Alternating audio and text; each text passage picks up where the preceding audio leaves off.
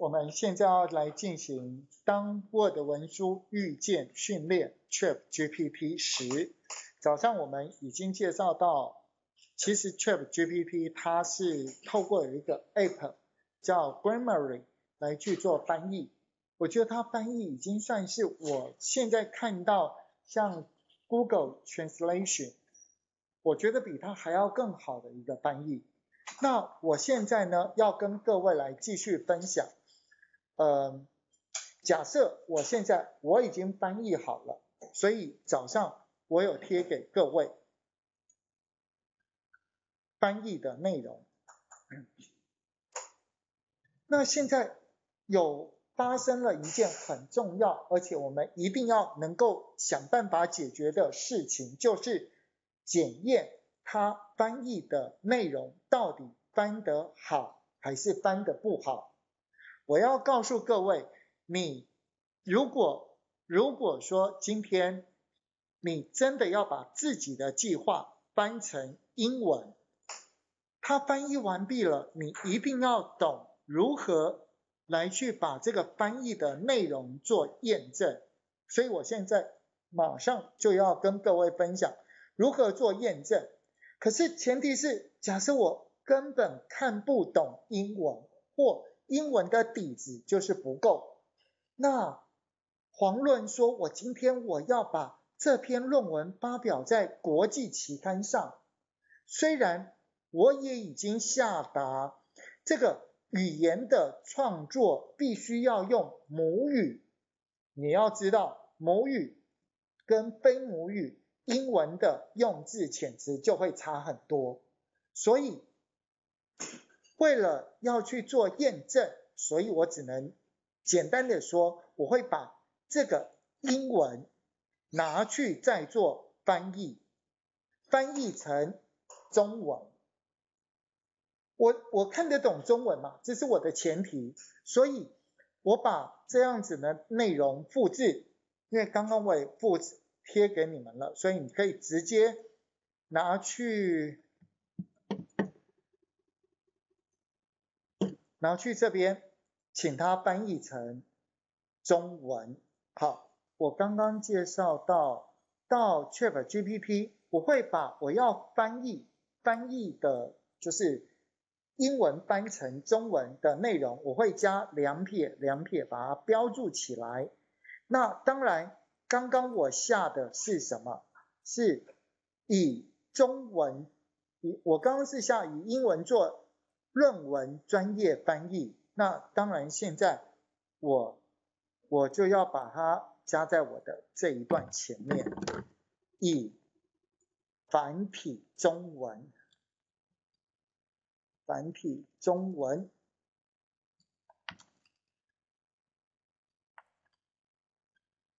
做论文专业翻译，然后接下来呢，接下来。这个，我会把最后面这个，请确保是最好的翻译结果，而且要让专家以为是中文繁体中文母语的人撰写出来的英文。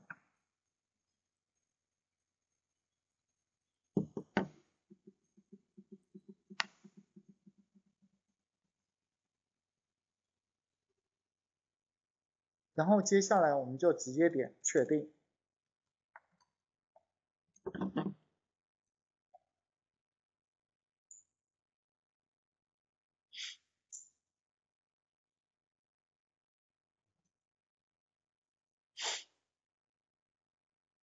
好，那接下来呢？接下来我看一下六七八九这些因素共同影响着。当前社会环境提出许多重要的挑战，需要我们共同努力。好，呃，现在重点是我要来去跟谁做比较？我要拿它来跟这这这一个段落来去做比较，所以复制。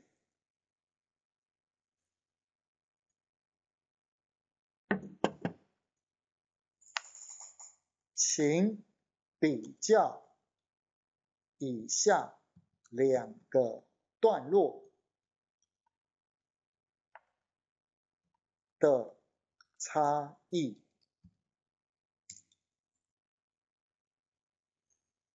这是第一个段落。呃，我这边我会用就是。Shift 加 Enter 强迫换行，让他知道这是下面这个段落，跟这一段二十一世纪，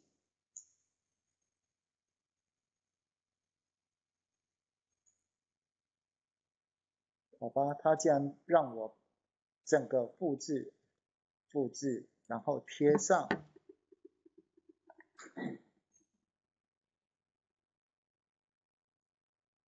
这个是。第二个段落，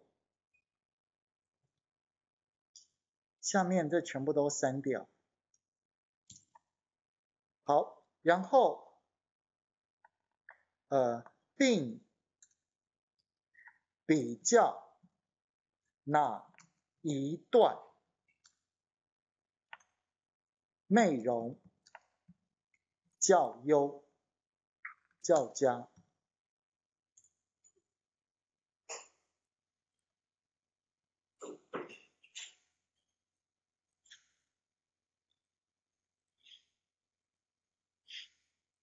好了，那我想请问一下，你这样子，你看到这样子的结果，这是它比较后的结果，你觉得呢？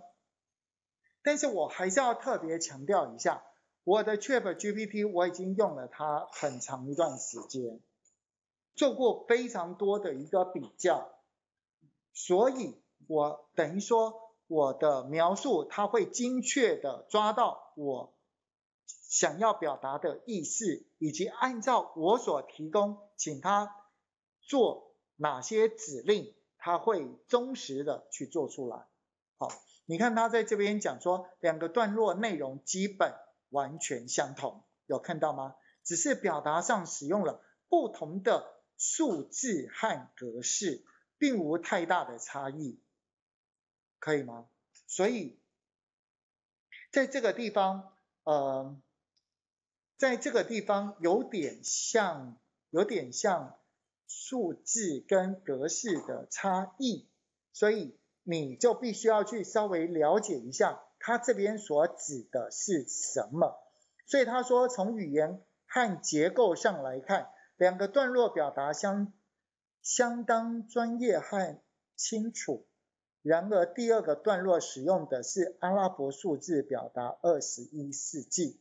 你看他连这个差距都找得出来，确实我这边是用中文二十一，然后这边是用阿拉伯数字，对吧？好，那他连这样子的一个小小的差异都找得出来，那我想，我想基本上这个翻译应该做的还不错，因为你要知道说，当中文翻译成英文，你。绝对那个原意是不能改变的，至少他现在做到了这件事，同意吗？这就是翻译它最重要最重要的意思。你不能说哦，经过了一个语言翻译，所以我们讲说，呃，我们为了什么某一个国家的什么国情什么时候，我就把它翻的，就是呃，就改变了它的原意，这样是不对的。它的原意一定要维持一样。那在这边，他有写到第二个段落在表达上更加流畅，使用了一致的资源匮乏。他他的意思，我觉得第二个段落，因为只要是经过机器改写，它一定可以做到更一致性。好，不晓得各位可不可以理解？呃，我现在说的这句话。但不管怎么样，我们这边至少我已经成功的完成所谓的翻译的检验这件事，而且得到的结果应该算是不错的，可以吗？好，那接下来我们再继续来去看，ChatGPT 在翻译上面做的还不错，那我现在我想要再增加内容。所以我现在我先贴。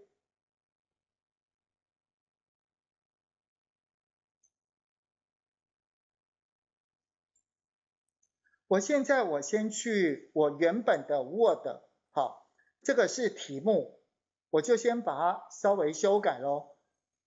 引言，我想把这个引言改成叫做简介，它不是 abstract，好，它应该是简介，introduction，然后。这些我就全部删掉了。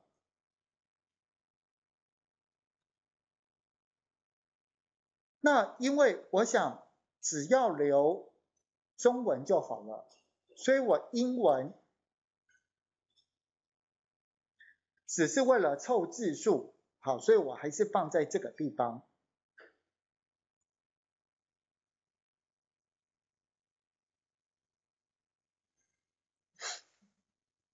简介呃重要性谈完之后，是不是去谈各国各国所遭遇的问题？好，例如说在这个地方有列了一些问题，在接下来呃环环气候变迁的问题，再来经济发展的问题，然后那用什么方法来去解决？算了，这这些等一下我都我都想要教你。然后接下来，接下来就是结论，好结论。然后接下来我们是不是要谈的是原理？就是到底这件事情它是怎么发生的？然后然后看看有可能我们应该要怎么解，怎么解释？发生的一个原因，我们称之为叫 rationale，就是原理。那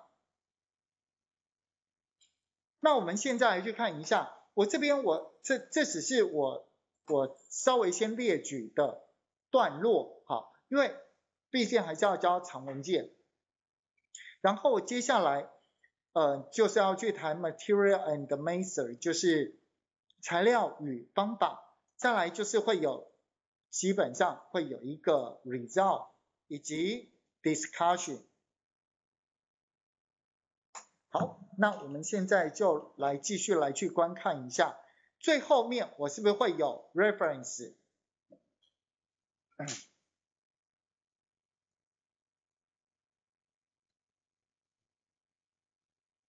好吧，只要留一个就好了。请问一下哦，呃。我我我看还是给你们中文好了，这叫讨论。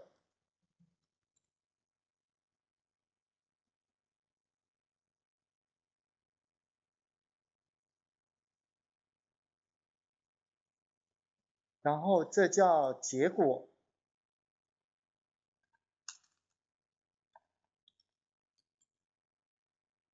这叫材料与方法。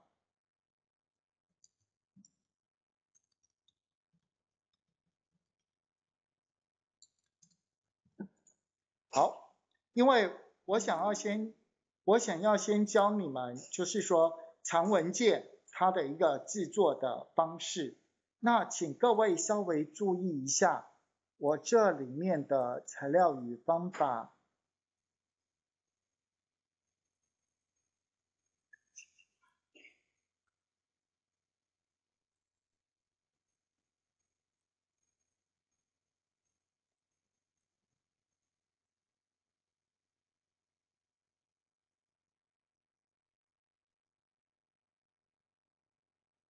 今今天网络下午的网络好像没有上午好。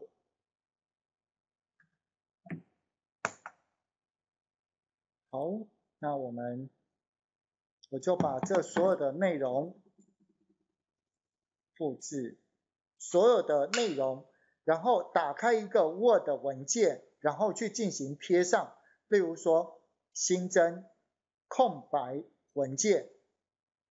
然后接下来我们就直接去做选择性贴上，这其实主要是为了贴这个什么都没有，就是一般的文字。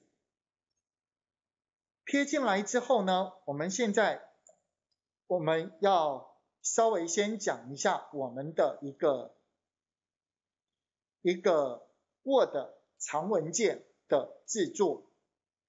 首先，各位应该要知道，就是这应该是我们的标题，好，这个标题就是论文的题目，所以我会刻意我会刻意的。使使用它这里有一个叫做标题，因为它不是标题一，也不是标题二，它是标题。然后接下来这个才是我们的标题一，好，所以请把简介改成标题一。那相对的，这个这个叫做内容，因为当你贴上去的时候。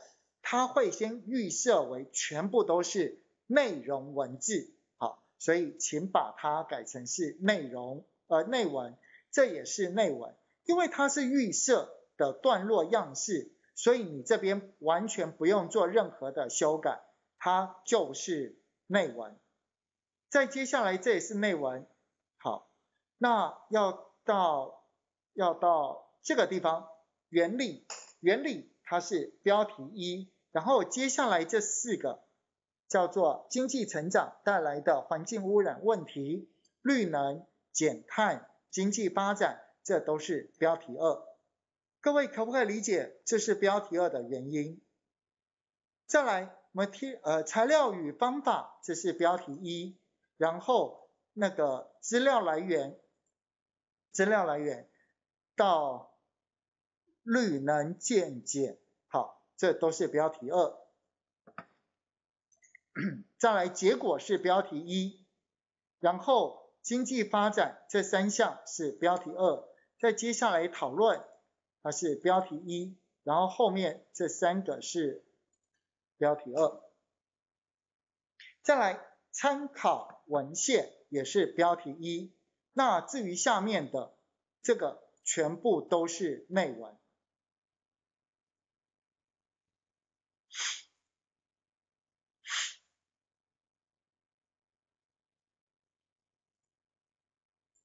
好，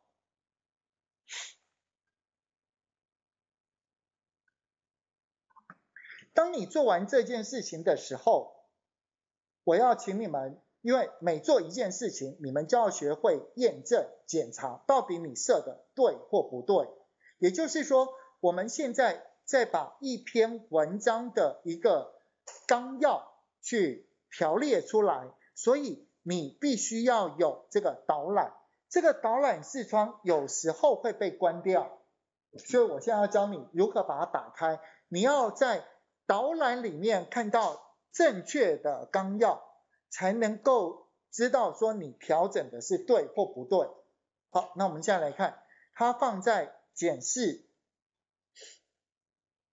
底下的功能窗格，所以麻烦请点选检视底下的功能窗格去做。导览的开与关，当然啊，你在导览这边右边有一个关闭，你也可以直接把它关掉，然后你再透过检视底下的功能窗格去开启。好，那我们先来看一下我们的一个一个，因为我们是这个文字创作的主人，好，所以我们要在这个地方。我们要看到，我们要几个大项目，像简介 （introduction），然后接下来是 rationale 原理，接下来是材料与方法，还有结果以及讨论，最后就是参考文献。那请问一下，在台湾很多的计划，或者是假设你去投稿的论文，它要求你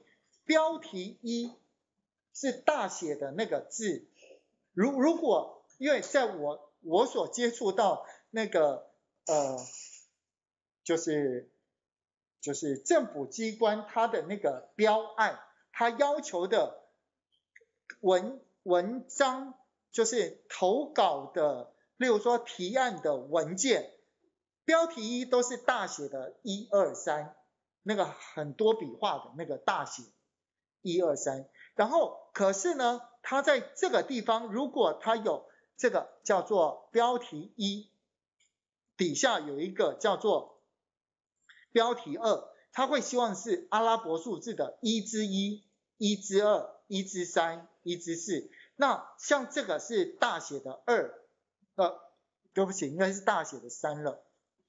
那这就是三之一、三之二、三之三这样子的一个呈现方式。那我现在所讲的三之一、三之二、三之三又是阿拉伯数字。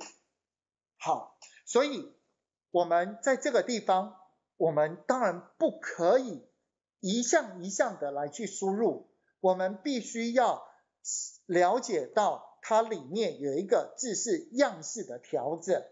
举例来说好了，我所有的字形应该都是标楷体，这不管你走到哪里，只要你去投稿，就是中文只有一种字形，就是标楷体，英文都是 Times New Roman，好，没有例外。那如何去做这样子的一个格式设定？而且不是一个段落设一次哦，是同类型做。一次性设定，那怎么做这个修改呢？首先我要把所有字型改成标楷体，好，所以在常用，在常用，请各位一定要知道 Word 里面常用的功能，常用底下的所有功能，你一定都要会。如果常用底下的功能你有不熟，那就代表。你对这套软体的使用方式是完全不正确的，请看样式，样式它是不是在常用底下？它的重要性如同储存档案，它的重要性如同这个常用底下的剪下复制贴上，可以了解吗？才会放在常用底下。可是，真的，真的要请各位，当你今天你要记住我现在说的内容，当你今天在做重复性工作的时候，你就要去询问 Chat GPT 有没有更快速、更自动、更只要做一次就可以完成的方法。所以，请你们一定要记住。至少你不问 Chat GPT，你要问老师，可以吗？或者是请教专家，绝对不要把我们的人生浪费在去跟机器抢工作这件事。而且你做的绝对没有机器来的好，因为重复性的工作为什么不交给机器来去做？这就叫自动。那我们现在来去看一下。首先，我要把所有的字变成就是标楷体。它的正确的做法是在常用底下有一个内文，所以用滑鼠右键点选内文，点选样式里面的内文，然后修改。请注意内文。它这边有一个很棒的、很棒的一个设定，就是后续所有段落，后续段落就是标题一、标题二，或者是那个页首、页尾里面的设定，全部都是依照内文。所以，在因为它有这样子的设定，所以我只要修改内文，就等于把所有的样式。都改成字形是标楷体，好，所以格式设定点选往下的三角形标楷体。那我个人我个人不喜欢用十二字形大小，给大人看的字建议放大一点，可以吗？好，所以我我连标楷体就是内文字我都希望请大家设成十四。好，然后接下来呢，因为它是内文，然后设成标楷体十四。其实其实我个人我个人呃还有一一个地方希望你们也去设定，但是你也可以不设，就是它的字形这边字形，这个字形麻烦请设定为 Times New Roman，它所指的是指英文 S T 这样。直接打一个 T，，T，直接打 Times New Roman，直接打 T I M E S，就是中文字形，请设为标楷体。可是你有没有发现，这又没有告诉你说英文或数字，但是它所指的就是中文字形以外的字形。可以这样理解吗？对不对？好，我全部都使用 Times New Roman，毕竟 Times New Roman 不晓得各位知不知道，英国英国报纸它用的就是 Times New Roman，这是大家英文最常看到的字型。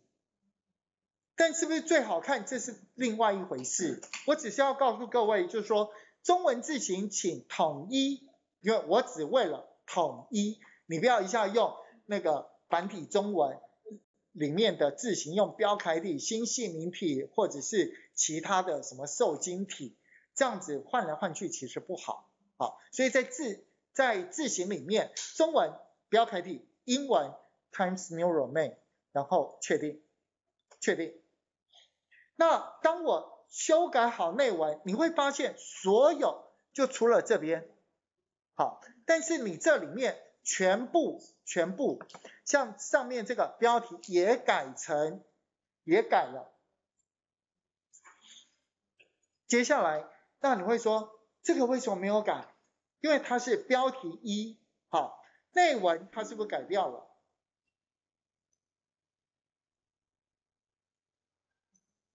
内文它是不是就改掉了？好，那我们接下来，我们因为它没有改，所以我们稍微手动来去。一次性修改，所以滑鼠右键修改。那我觉得重重复的内容不需要这样一直教，所以我要教你另外一种，一次性把所有标题一样式一口气把它全部修改好。例如说这个这个段落，麻烦请先选起来，这个叫简介第一个标题一选取起来。然后，请把它改成标楷体。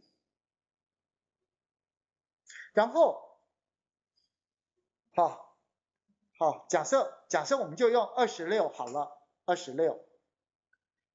然后接下来呢，当我们设定好它是那个二十六标楷体字形的时候，我希不希望每一个标题一，就是这个结果，它也要改成标楷体？的二十六字形，对不对？好，所以要怎么做到这件事情呢？好，就是滑鼠右键，滑鼠右键，然后接下来点选第一个更新标题一，以符合选取范围。这个标题一绝对会改成，它它已经被我手动改了嘛？可是我要的。是全部一起改，你看原理是不是也改了？是不是也是标楷体二十六字形？当然每一个都是，你要记住哦，像这样子的做法才是对的。那没有例外了，就是说那个假设你今天要手动一个，假设有六个标题一，你就要改六次，这种方式你一定要。一定要写信来问老师说有没有更快的方式，可以吗？那接下来我们现在就要来看一下，那所有的标题二，标题二一样要改成，例如说多少？呃，我改成标楷体二十，所以滑鼠右键点选标题二修改，然后接下来请把这个内容。请把这个内容改成字格式设定里面的字型改成标楷体，然后呃字型大小设为二十，自动更新麻烦请打勾。自动更新打勾，它就会把每一个只要是标题二都一起做更改。好，确定。那你去看，刚刚我是在讨论里面的标题二，然后接下来在这个地方有看到吗？这个是材料与方法的标题二，是不是也修改成标楷体二十？好，这都是一致性，只是你会说内文。我要去做一致性设定一次，标题一，为什么我也要做一次性的一致性设定一次？为什么？因为它两个就是存在不同的样式定义啊，可以吗？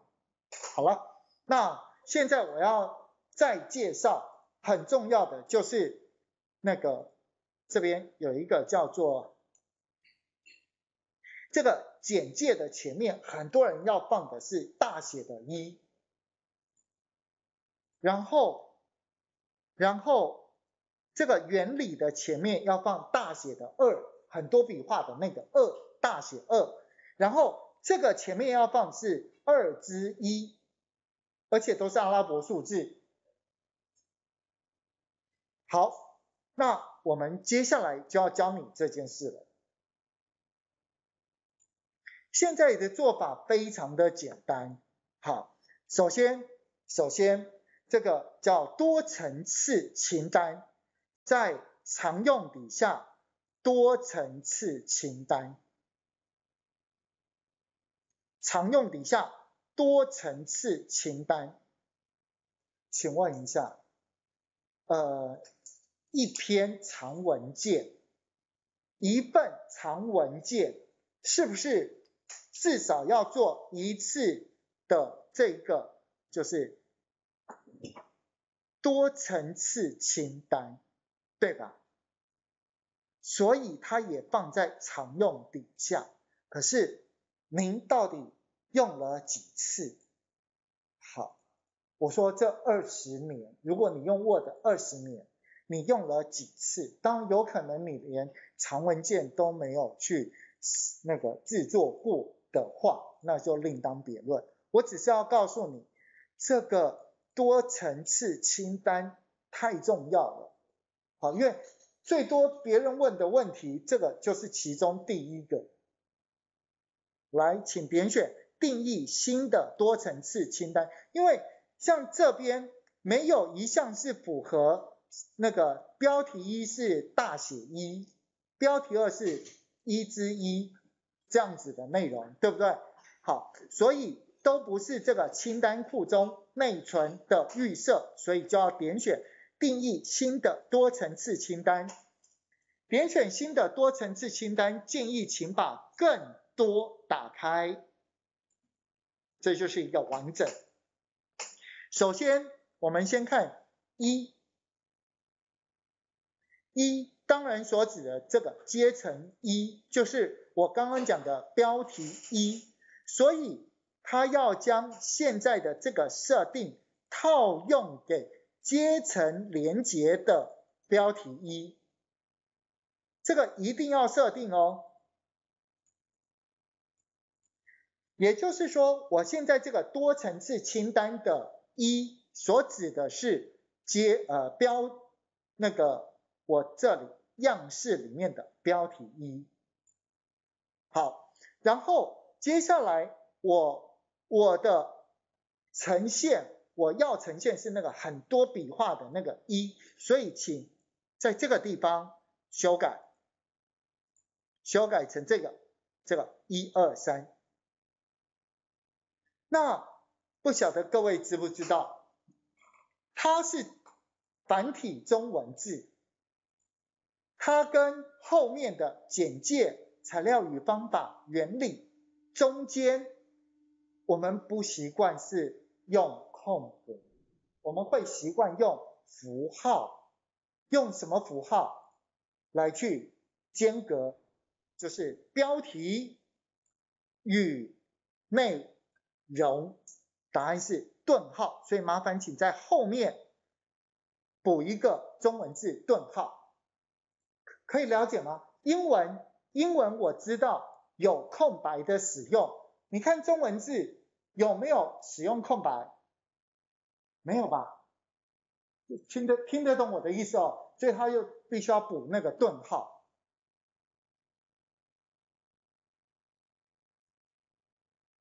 我应该不用教你们顿号怎么打出来吧？好，谢谢。听听得懂我的意思吗？就是，呃，这不是规定，可是好像大家都知道了，这样听得懂我意思哦？就是会加这个顿号，而不是放空白。那什么时候可以放空白？像例如说阿拉伯数字后面，英文字后面，我们就很习惯看这样子的内容。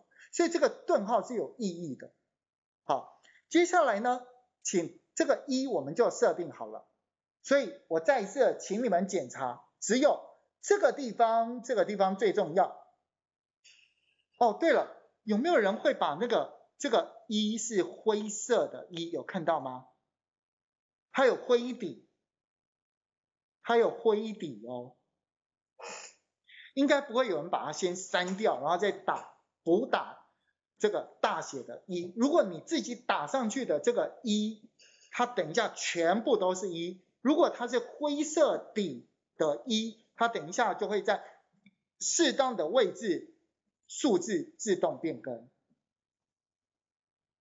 那如果不小心删掉之后要再打？那你就再把它加回来啊。就是如果假设我现在我就真的把它删掉了，好，删掉了，好。请问你现在要怎么办？啊，好吧，这也是一个方法。我重做嘛，新增，重新做一次新增。你你听得懂我意思？我我真的要告诉你们，反正反正它没有规定你只能定义一次多层次清单，对不对？好，你反正只要正确定义就好。我的意思是说，这个灰色的一不见了，不见了。其实是在这个地方，呃，灰色的一，灰色的一好像是包含，跑到哪里去了？就是你这边，你这边，你再再补回去，补这个这个阶层的数字样式，因为本来本来是不是被删掉了？删掉，然后你就开始打字嘛，对不对？那你就把你刚打字都删掉，然后在这个地方重新去补补这个一二大写的一，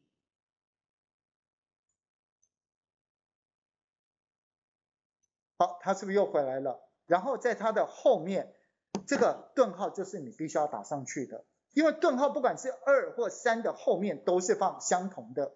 只要是相同的，你都可以加顿号，呃，就都都可以自己打，自己输入。然后接下来，请注意，你只要先帮我注意一下，这个一一定要设定好，我想应该已经设定好了。二，你有没有发现，现在这个阶层二，请把将阶层连接字，请把它改成标题二。一定要记得，一定要记得这样子的一个设定。在接下来呢，你有没有发现，现在现在是大写的一点一，这个大写的一就是阶层一，就是标题一那一个阶层。那后面的这阿拉伯数字是这一节，可以吗？好。章跟节是不一样的，所以前面这是章的编号，后面这是节的编号。然后，因为我们会希望它是阿拉伯数字，很神奇的，只要请你点法律样式编号打勾，它就变成这个样子了。再接下来，请在它的最后面一定要输入空白。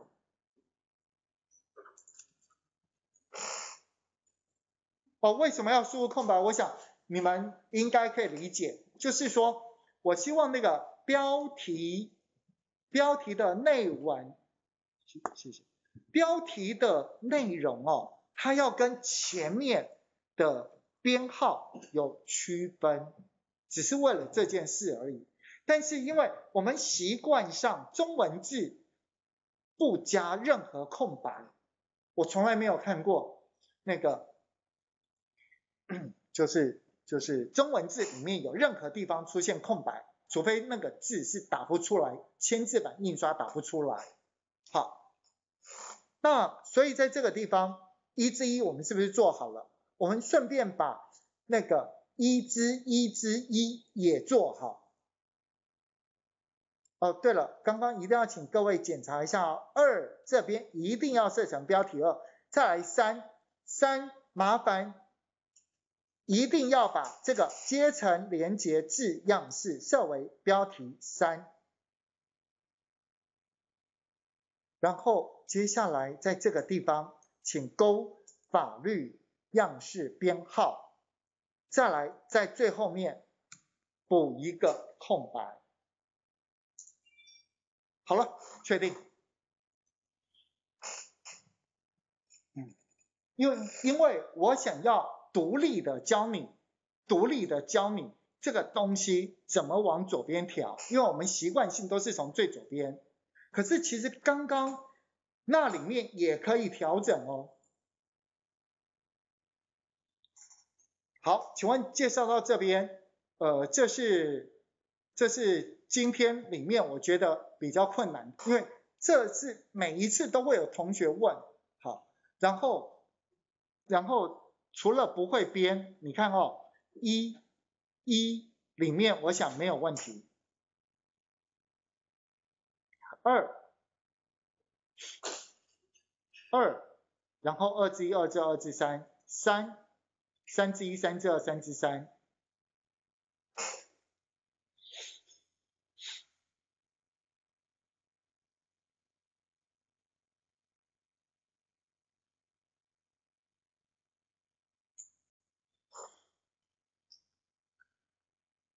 呃，我们来创造一个，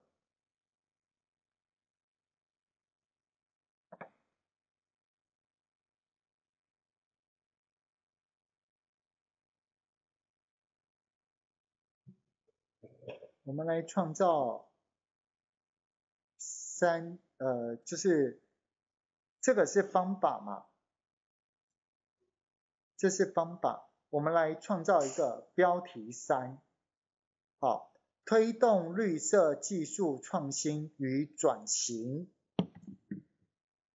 复制，然后因为这是方法，所以我们会放在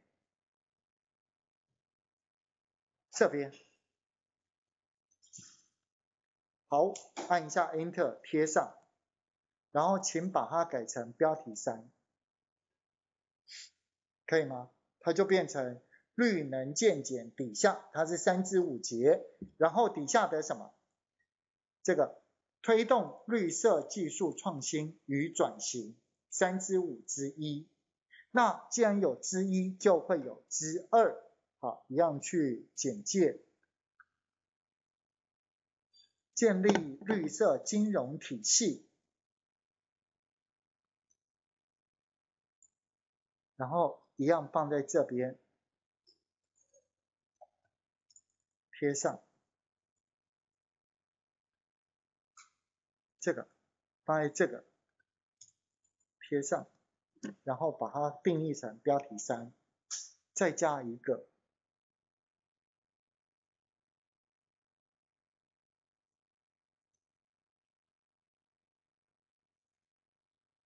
好了。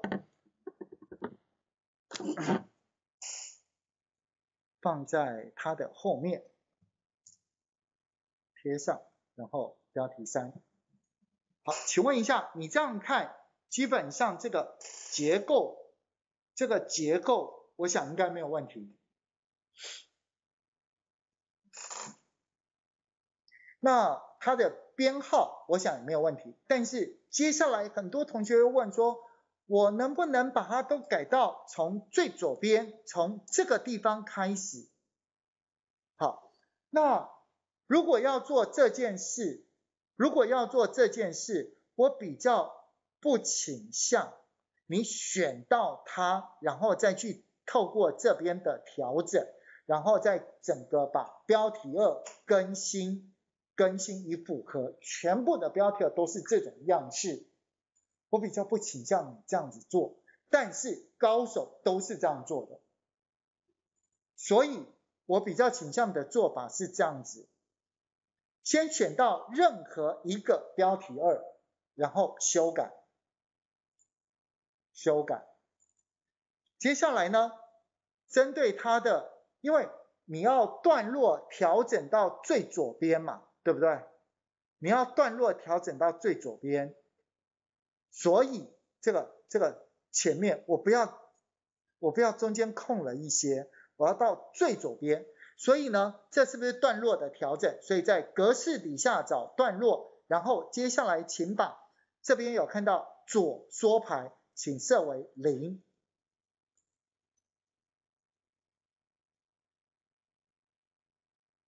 还有，我个人其实不太喜欢。多行，英文的多行跟中文的多行，它在那个大小上面它是有差别的，所以我建议只要改成一点五倍行高。我不知道了，我们就是就是呃政府机关交的报告里面，只要用到中文字的，几乎都是一点五倍行高，而不是三。那三真的是英文。很适合，好，确定，确定。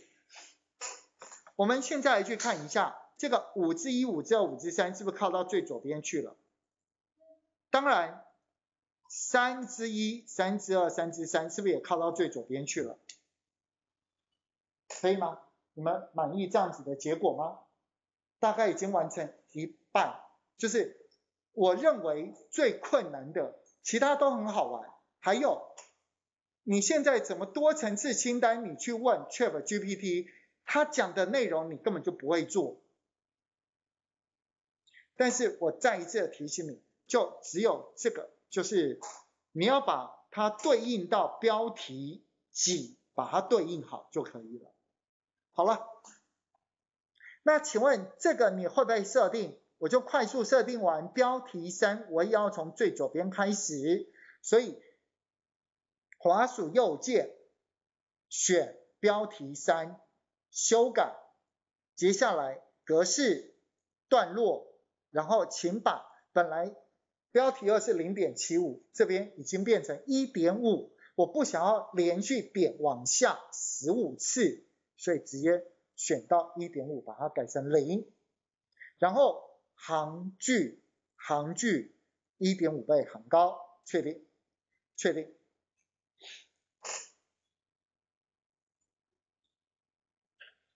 哦，对了，对不起，这个标题，这个这个标题三有看到吗？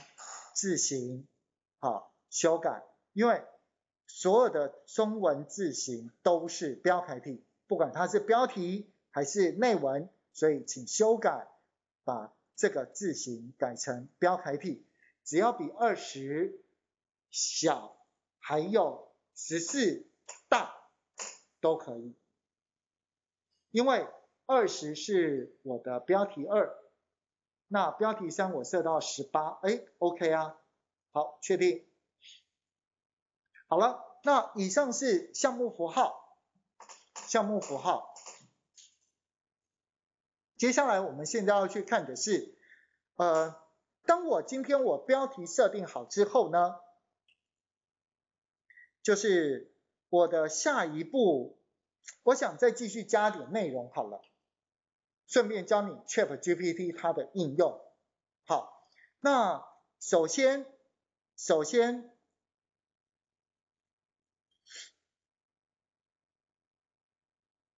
呃，我刚刚是先这样子使用，哎，我应该是在这。哦，我我应该是在这个地方，我就在 Chrome 浏览器，我就去搜寻，搜寻，因为你看我在这个地方，假设我今天我要放一个表格，那在收集资料这个部分，我想 Chrome 浏览器这很棒。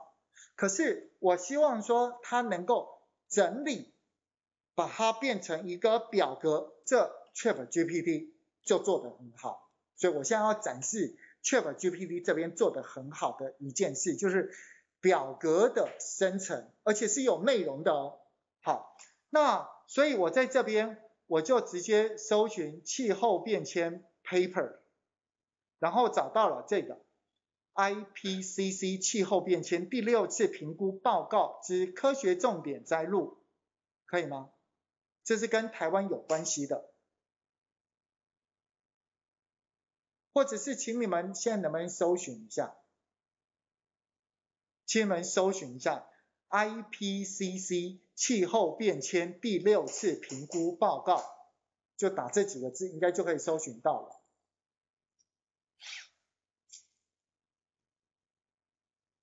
可以吗？打前面这几个字，然后点它之后，就会跳来这一份文件。有有听得懂我意思哦？其实如果说我今天用 Edge，我就直接直接在浏览器里面搜寻了，对吧？因为 Edge 它的 Bing Chat 它就是在浏览器下面。不晓得各位可不可以理解？你这样也可以了解哦。其实我们在搜寻资料，几乎都是用网页搜寻网页的资料。举例来说，请条列全台湾十大开心医师，然后呃分别摘录哪家医院。医生姓名，然后那个科别，呃，那个任教哪家哪个学校，还有医龄什么等等，他他就真的帮你去收集这样子的一个表格，听得懂我的意思吗？好，那我想你应该就可以看到这样一篇文章。好，我想问你一下，例如说，在这边台湾地区历史观测趋势，你有没有发现这样子的一个文字叙述内容？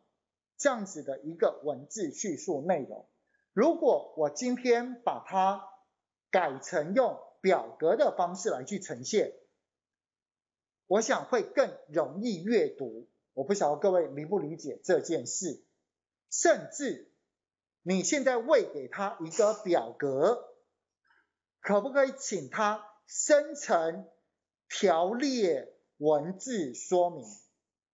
听得懂吗？我不知道为什么我们有些人写报告，就是表格附上去，你还要去解释这个表格，对吧？所以。既然它生成这么容易，为什么不给他这个机会？好，那你你看一下，他这边他讲的内容，大概你可以把它摘要出来几个栏位。举例来说，这边，呃，假设你连这件事都不想要去去去分门别类，就是。反正一切交给他，请生成一个表格，你看他会做成什么样都可以，你可以去挑战他，我觉得他会做的不错。就是根据什么中央气象好，这个是这是来源，接下来就是年年，然后这边是结果结果结果以及附注，那相对的。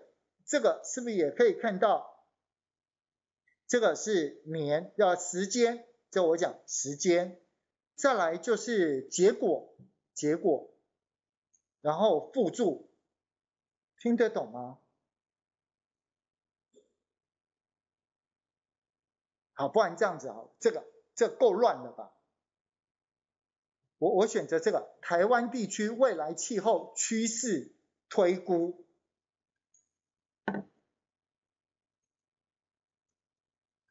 请问你是不是可以选到这样子的内容？哎，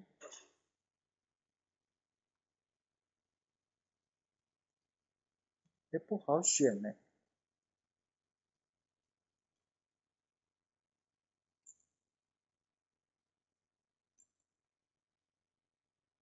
你信不信？你一定会遇到不好选。如果不好选，你要怎么办？反正先教你两个方法。第一个方法就是当你真的遇到选都选不到，因为你应该知道 Acrobat 它可以把 PDF 的内容锁起来，不让你不管按任何一个按键来去做选择，对吧？好。所以两个方法，一个就是去问 Chat GPT，一个就是写信来问老师，可以吗？那还有没有第三个方法？有啊，去问 Google 大神呢，对不对？不管怎么样，反正不黑猫、白猫、花猫，什么猫都无所谓，你能够解决问题就好了，对不对？好，那我们现在去看一下，选到这个内容复制。重点是我要放到这里面，好，一样回到哦，早上这这这都是早上我所有的提问我都收集在这边，请整理，请条列，呃，请整理成一个表格。分别有期间，呃，就是结果。哎，等等一下，他他讲的是什么？啊，算了啦，反正随便他去整理。我们先看看他整理成怎么样子。请整理，请将。以下资料整理成一个表格。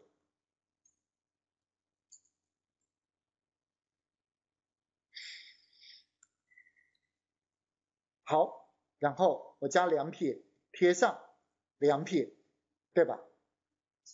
然后我把这个内容就全部贴给你们喽，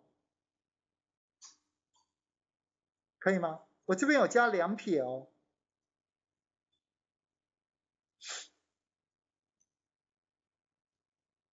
好，我就贴在这个地方，贴在 Teams 里面，贴上，可以吗？那我们来见识一下它的资料整理。好。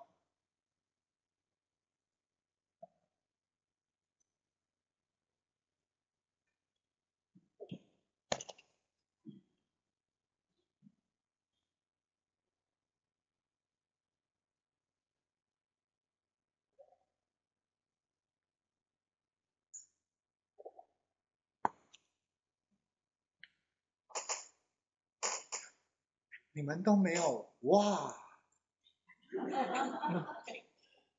不觉得他很厉害吗？你你这样子的一个内容，你怎么看啊？听得懂吗？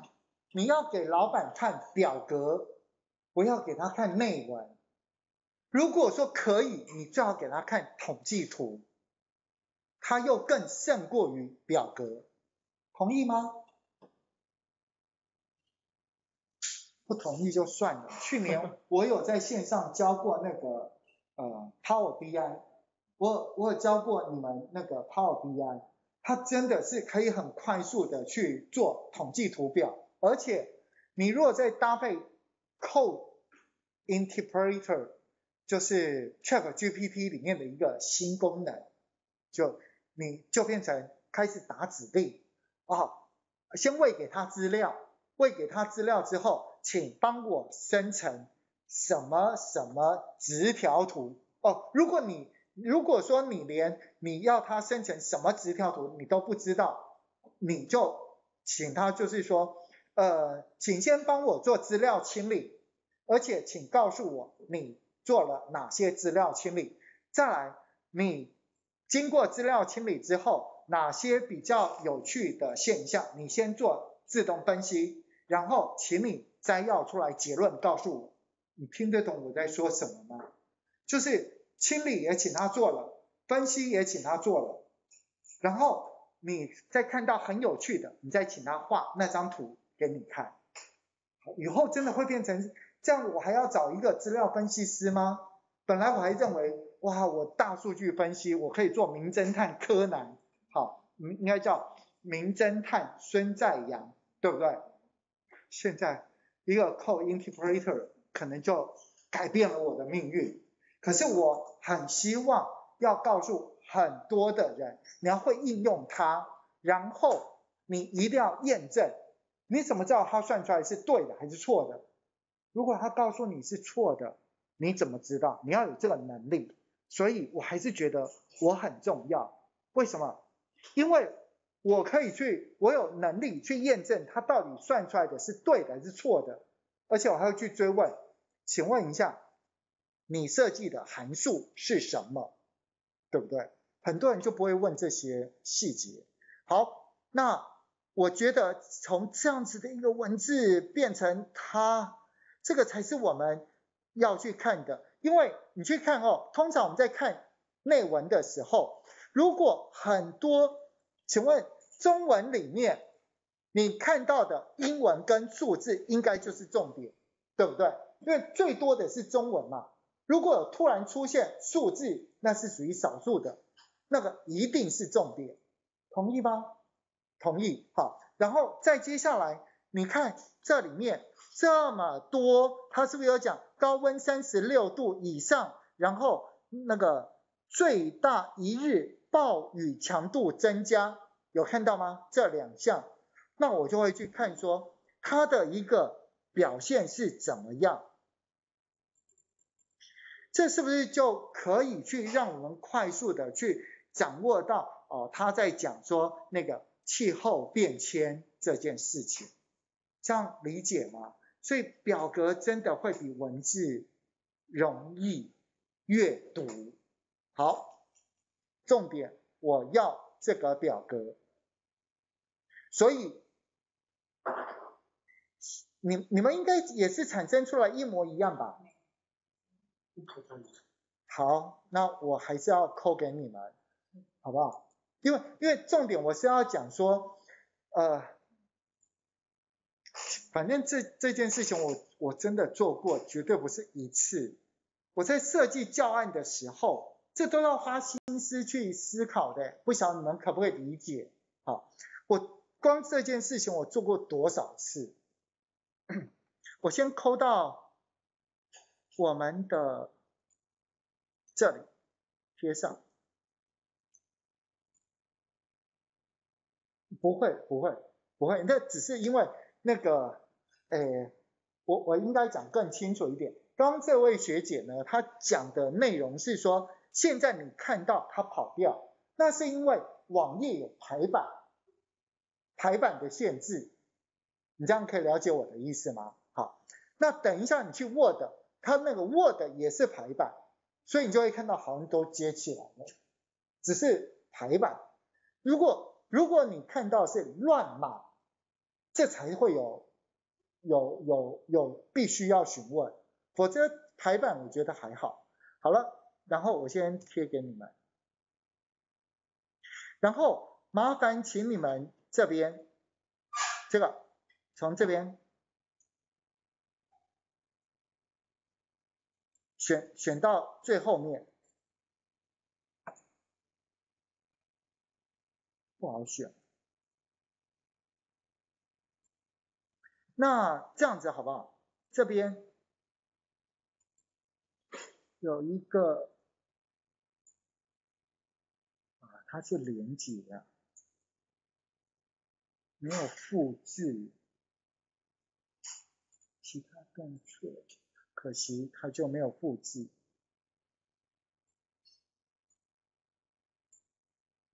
复复制它是复制连接，储存子讯息。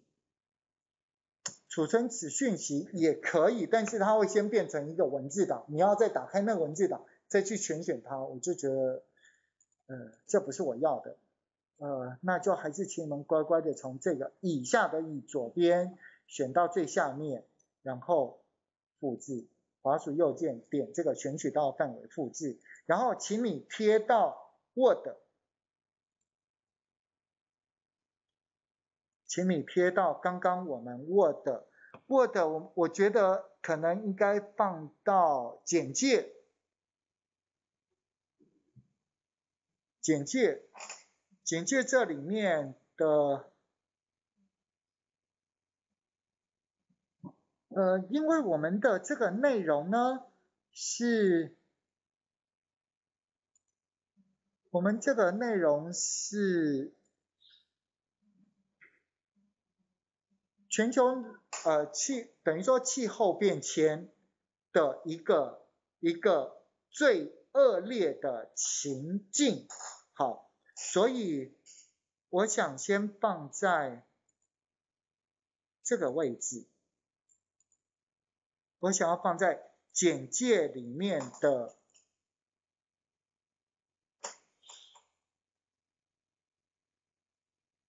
简介里面的。这个这一段英文字的下一段，然后贴上，然后直接选择我贴，我都习惯只贴只保留文字。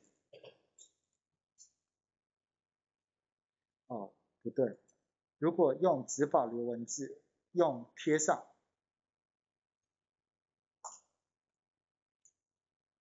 好用这种方式可能会比较合适。好，那接下来呢？接下来我是不是要把它把这些段落变成表格，对不对？所以来，请把这些段落选取起来，这些段落选取起来。那段落可不可以变成表格？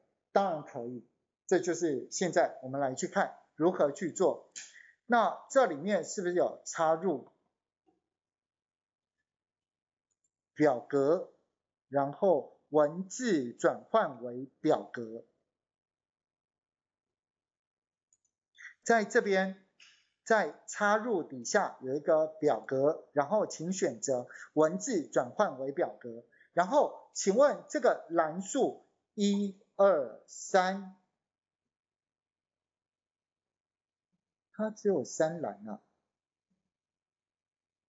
我看一下啊，刚刚我们这边是只有三栏吗？嗯，真的，好，那我们就变成三栏。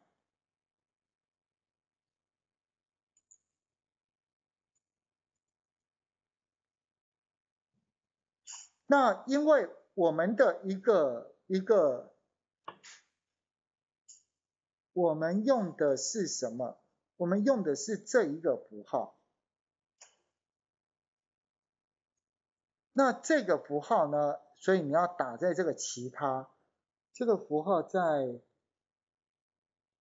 我这边是那个 backspace 回车键的下面，可是你要加按 shift 键，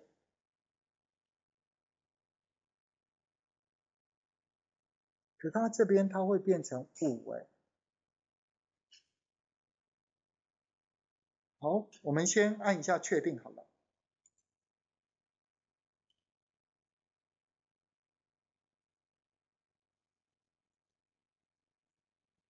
呃，我我再调整一下，插入表格文字转换成表格。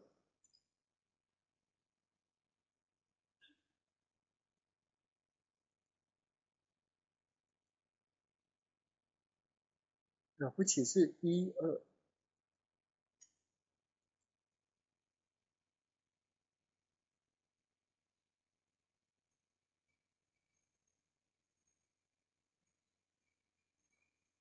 那如果是这样子的话，我觉得我会比较倾向用我这边，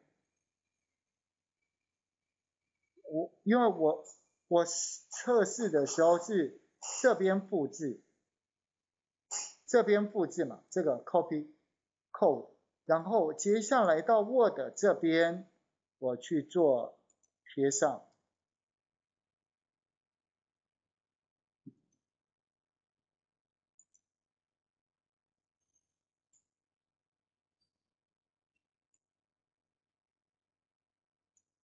然后是是这边去将段落文字转换成表格，用这个符号。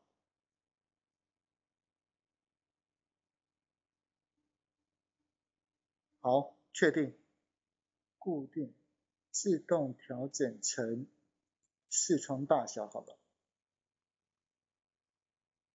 不晓得为什么它都会都会变成是五栏，但是第一栏刚发现最文字的最前面它刚好有几个线的关系。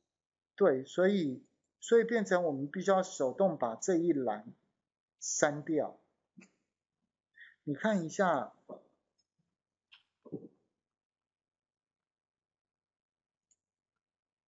我先还原还原。再还原，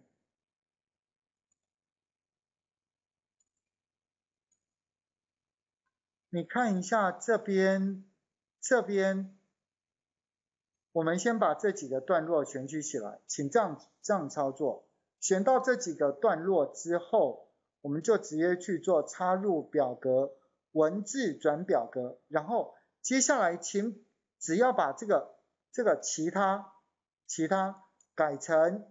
这个直线就是这个直线，这个直线，然后接下来自动调整成视窗大小。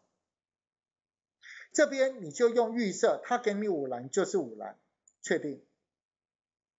然后你会发现这边产生出来的结果是不是都不正常？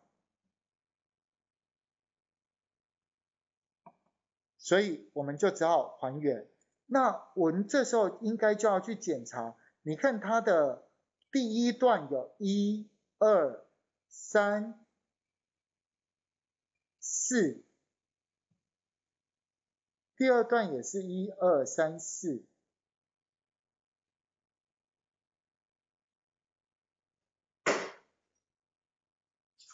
所以我建议哦，因为显然这个符号不知道是什么符号，所以复制起来。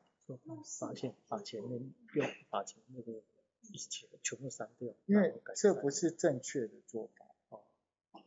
是的。一、二、三、四，四栏。好，来，我来试试看。选到这边，因为我本来是想说，会不会是这个这个直线，它并不是我键盘上的这个符号。好，选到它，插入表格，文字转表格，自动调整成视窗大小，四栏，确定。然后接下来把第一栏删掉。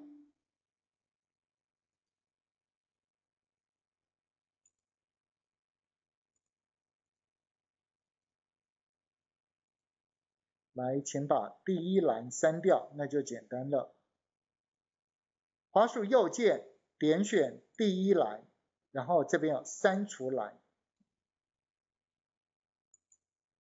好，然后接下来针对这个表格，针对这个表格，因为表格在做这件事的时候呢，我们应该是用用预设。千万不要在那边手动花太多时间来去调整。但是有几个表格的功能你是必须要知道。首先，首先这个表格我们是不是应该要做格式的调整？像在这个地方，我觉得比较合适，这上面是标题，所以这里面的格式，例如说我改写改成这个蓝色，然后再来它的这个宽度，这这是我我个人的喜好了，我喜欢先调整到整个整个是就是满版符合视窗大小，如何去调整？符合视窗大小，所以在版面配置自动调整，自动调整成视窗大小，它它就整个整个调整了。那当整个调整之后，如果这个时候我我个人呃就是看大家的一个喜好，我不晓得各位知不知道，像像这一列，我想大家应该会直接把它给删除掉，所以就直接。删除列，删除列完毕之后，这个里面存在非常多的空白，不晓得各位可以发现吗？这个空白都是我不要的，所以，所以在这个地方，只要是出现这个空白，我都删掉。而且它这里面还有出现一个很奇怪，你也不知道它是什么，这个十四，这个数字十四。跟后面那个空白中间有一个右上角一个圆圈圈，所以我建议各位，我们先选到它，我们先选到这个表格，然后常用底下的寻找，呃，先做取代就好了，把这个空白取代掉，空白，空白如何取代掉？就寻找内容，请输入一个空白。然后取代为什么都没有，就是什么都不打，然后全部取代。你看，光一个小小的表格，为什么里面会塞了三百零二个空白呢？好，是否要搜寻文件其他部分？不要，因为如果你有用到英文字，英文字里面它就本身就应该存在的空白。我现在所讲的是指。表格中的空白，我建议各位是要拿掉的。还有这一列，也请把它给删除列。好，这是我个人，我个人是针对那个表格，我会再去做这件事。那接下来这个表格是在做，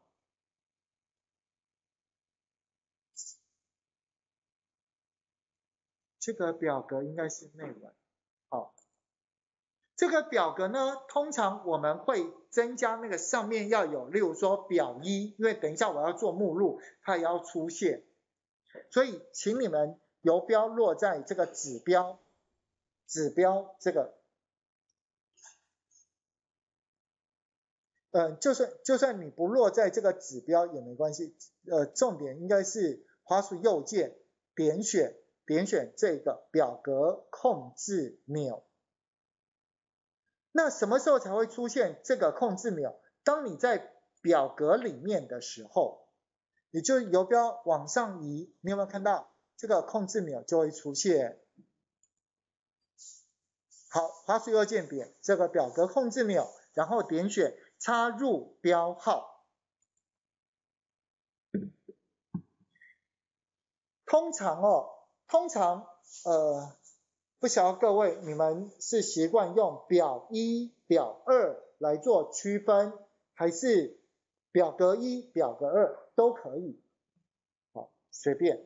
然后接下来，我个人的习惯是，我插入进去之后，我才会去输入相关内容。像例如说，这个表格它会。它会显示放在什么地方？项目整个项目的上面，然后确定。那这个表格其实应该放置的内容，我看一下，应该叫做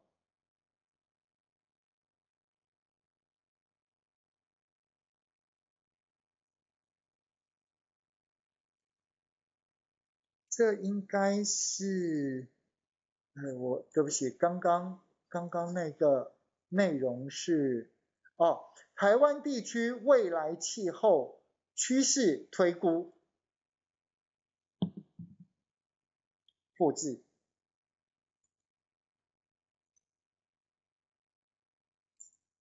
然后贴上，可以吗？我贴在这边，你们自己去抓过去使用。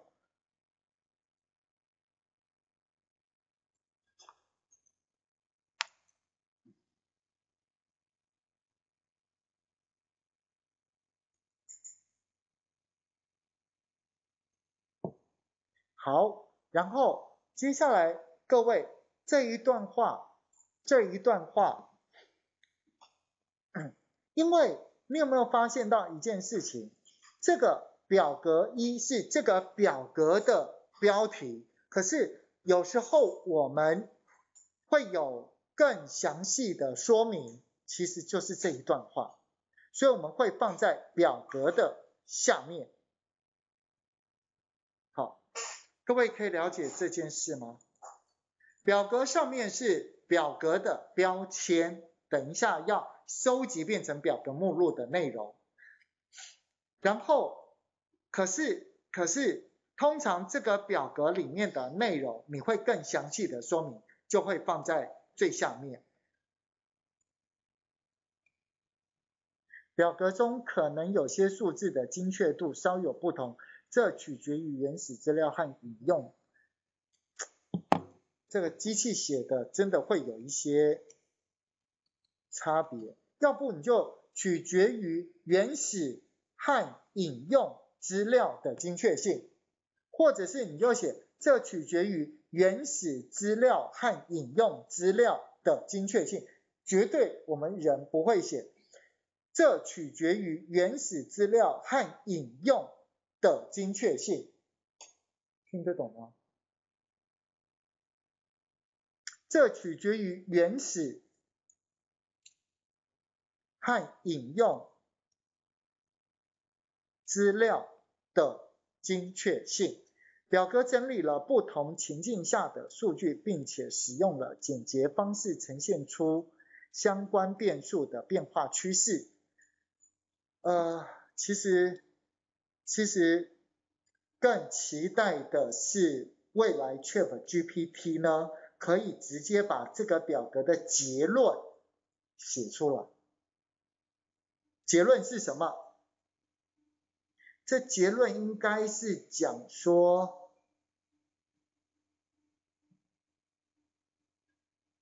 台风增加还是减少？强台比例增加。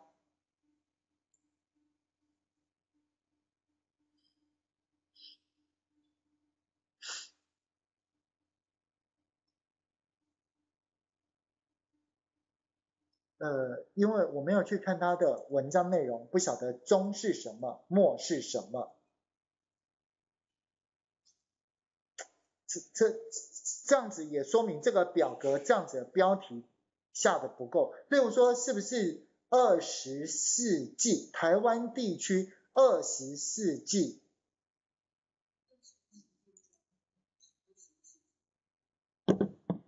哦，因为是未来嘛，对不对？那就是二十一世纪中与末，可以吗？然后，所以在这边那个呃强台比例增加。哇，是先增加哎，而且它这一百是指说多少年增加一百？希望是，希望不是，希望是我我不知道他统计的就是中有多少年，末有多少年。好，不过还有一种可能，还有一种可能，如果我们现在重视这样子一个环保议题。我们就不会遭受到这样子的一个强台、强风，还有那个豪雨等威胁。你们说是不是呢？好了，反正现在要开始去做这件事了。那针对这个表格，我想再再跟你们讲解，就是说，最多同学询问我表格，表格里面可能会塞图片，那图片大小的控制，他希望我表格是多大，图片要自动缩小。符合这个表格内容，呃，所以图片自动调整缩小为表格大小内容的控制。好，那这个，例如说我在做一个表格，好，我先插入一个插入一个两栏三列的表格。好插入两栏四列好了，好，三栏四列，请插入一个三栏四列的表格。好，例如说这个叫做这个叫做这边假设我把这个。栏宽调整缩小一点，然后这边我是不是就可以稍微往左边搬？我这边要放两张图片，一个是比较前，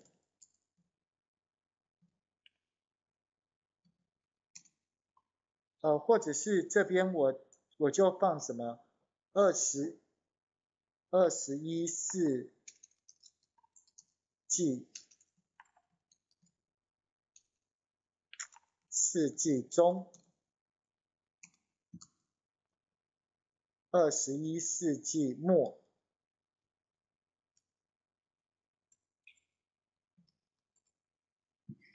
不过很很抱歉，因为我们的课程并不是要教你 majority。如果教你 majority，我就可以请他去帮我生成台湾二十一世纪中即将会变成什么样子的图片。听得懂吗？我就去抓那张图放进来。好，他做得到。好了，那我现在呢？哎，可是 Age 做得到，Age 里面的确并呃冰雀做得到。好，我们来玩一玩。那个。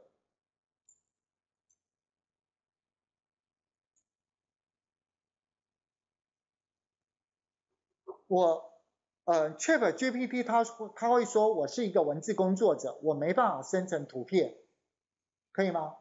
而且它只能只能呈现二零二一年九月之前的资料，之后它不提供。那我现在让它呈现二十一世纪中，也就是二零五零年台湾的样貌，你觉得它会帮我生成吗？首先，它是文字工作者，它不生成图片。第二。时间不符合，它也不生成，可以吗？所以我现在我就用 age 的病来秀一下，可以吗？请，请生成一张台湾在二零五零年。时候的那个地图，地图。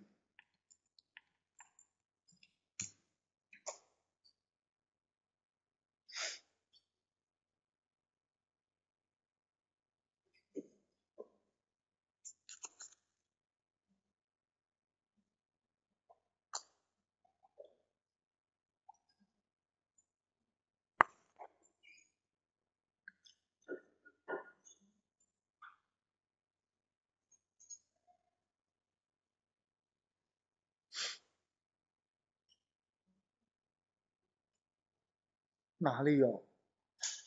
骗我。我会尝试创造一些台湾在在哪里？我怎么看不到？啊，正在产生，正在产生。好，听得懂吗？这个是 Chat GPT 做不到的。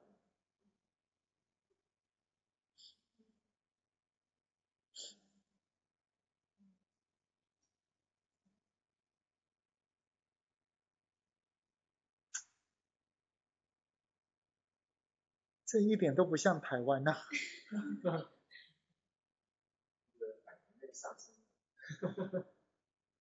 哦，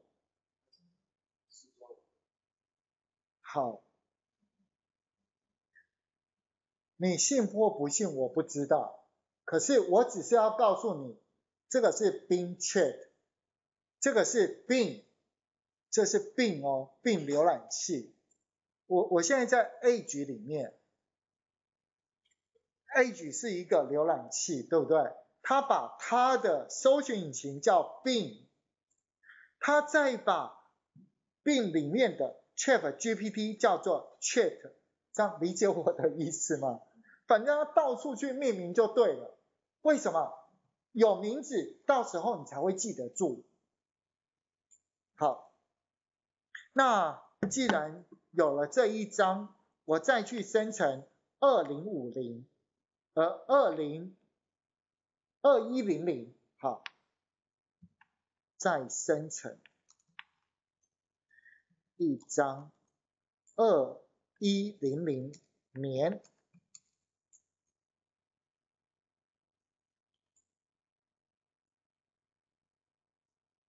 时候的地图。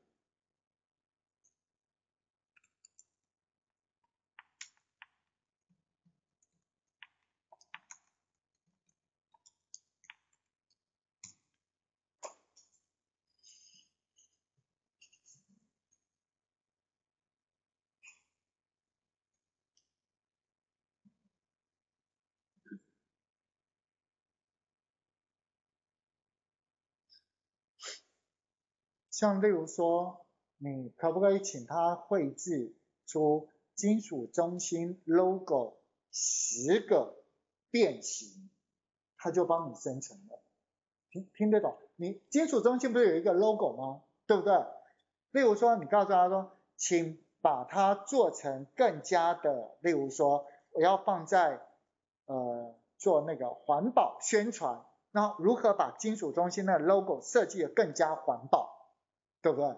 你不会设计嘛？你再重新去念师大美术系，不晓得要念多久。可是你只要在这边打几个字，下正确指令，它就做好给你了。那你要不要？那就是另外一回事。好，我现在我重点是要把这些图放进去我的表格，可以吗？好，所以这边是二零一零，我先另存呃。另复制零几，复制复制影像，我先复制影像，然后接下来在表格里面贴上，贴上，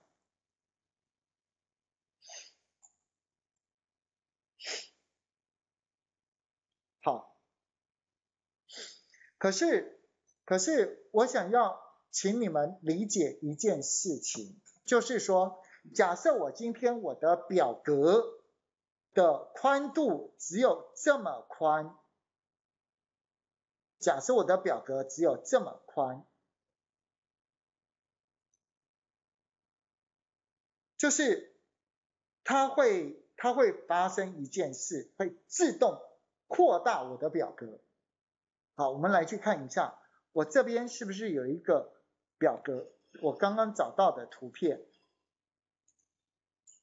复制影像，然后回到我的表格贴上，它有没有自动扩大？有吧，对不对？好，那如果我希望表格的大小，表格大小是固定，不要动来动去，听得懂我的意思吗？好了，所以我现在要去请你们用滑鼠右键。点选表格控制钮，然后这里面有一个表格内容，请把针对表格的选项，请把这个自动调整成内容大小关掉，表格就锁定了，表格就锁定了，确定，确定，好了，我现在我要把这一栏稍微缩小。这一栏稍微缩小。好，当我现在，当我现在我将图片插入进去，我们去看第三张图会变什么样子。所以在这个地，在这个地方，第三张图片复制影像，然后贴上。你有没有发现？它其实会把图片缩小，了解吗？就是我们在那个做以前用 Word 在做，你们应该很久没有找工作，可是那个履历表的右上角是不是会放一个自己的大头照，对不对？好，那个时候就很需要这个功能。好了，然后第四张图片复制影像。贴上，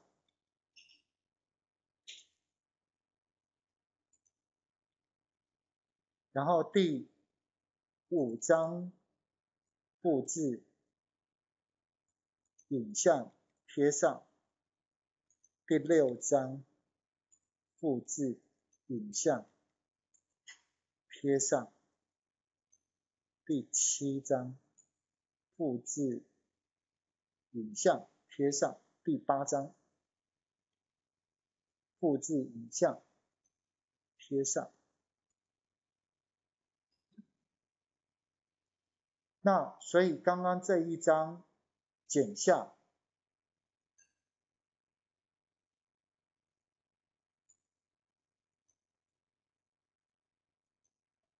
贴上。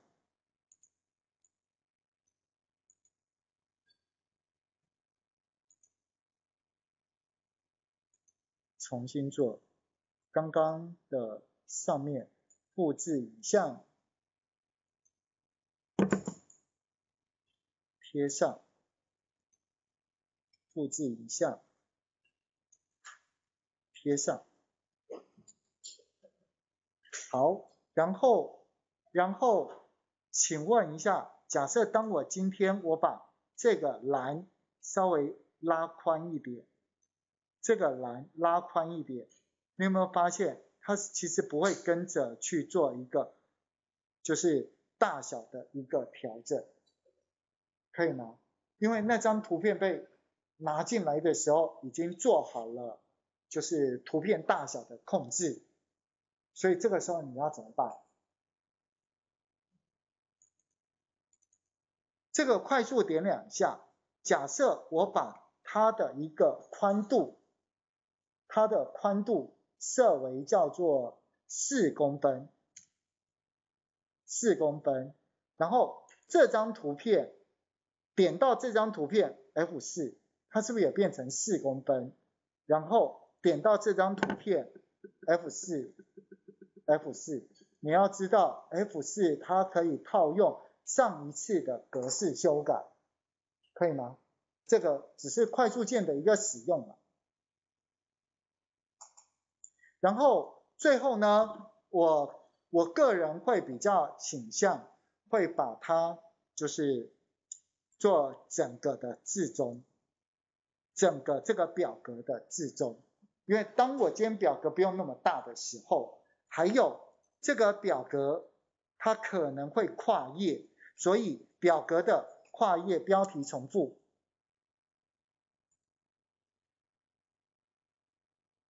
重复标题列，可以吗？这一页，它这样就变成没有跨页。好，当假设假设这地方我再多增加。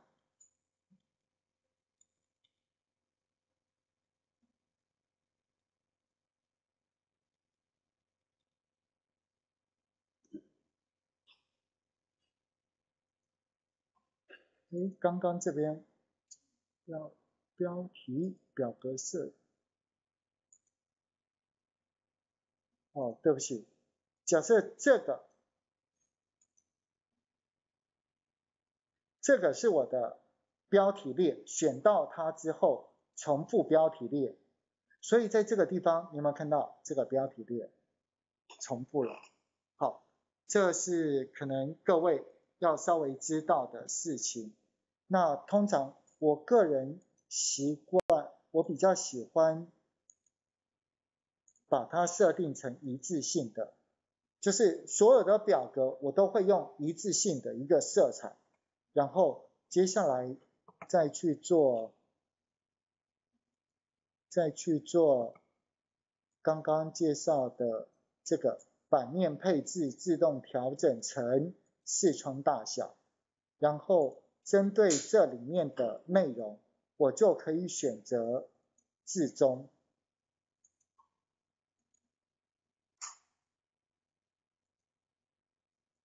这个版面配置选择置中，这样子的话，我的格子里面的内容它都是放置在中间。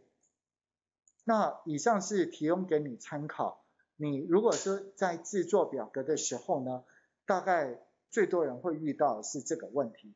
那我最后我这边因为还是要做表格，所以请插入标号，它叫做那个二十一世纪，二十一世纪中与末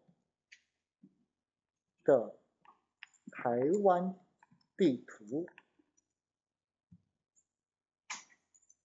好了，那我想我们做完了这个表格呢，可能在这边我们要暂时先休息一下。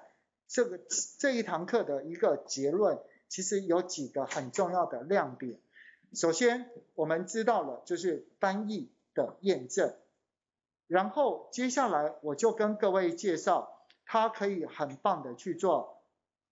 Chat GPT 可以做很棒的资料的一个整理，然后再来，因为长文件我们会有一些样式、字式样式的一致性设定的标准，好，我也跟各位分享这个样式的功能，以及就是在表格里面它可能经常被问到的问题，也都跟你们分享。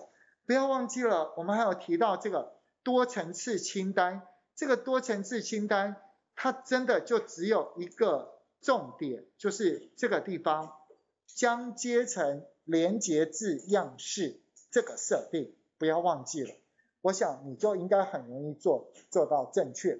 好，我们下课休息十分钟，三点十分进教室。后面那边有饮料，大家可以。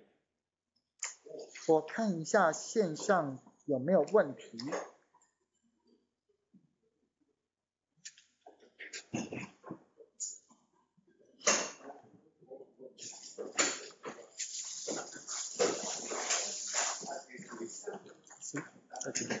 凤梨冰茶。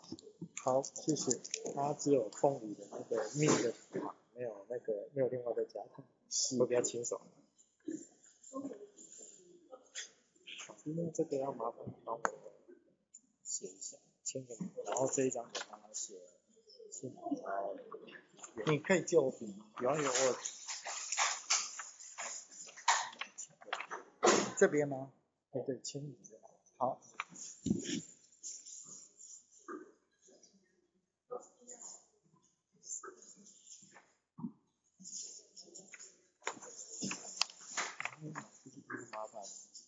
的。好。其他地方我就照之前的内容放。所以我签在前面还是后面？这是。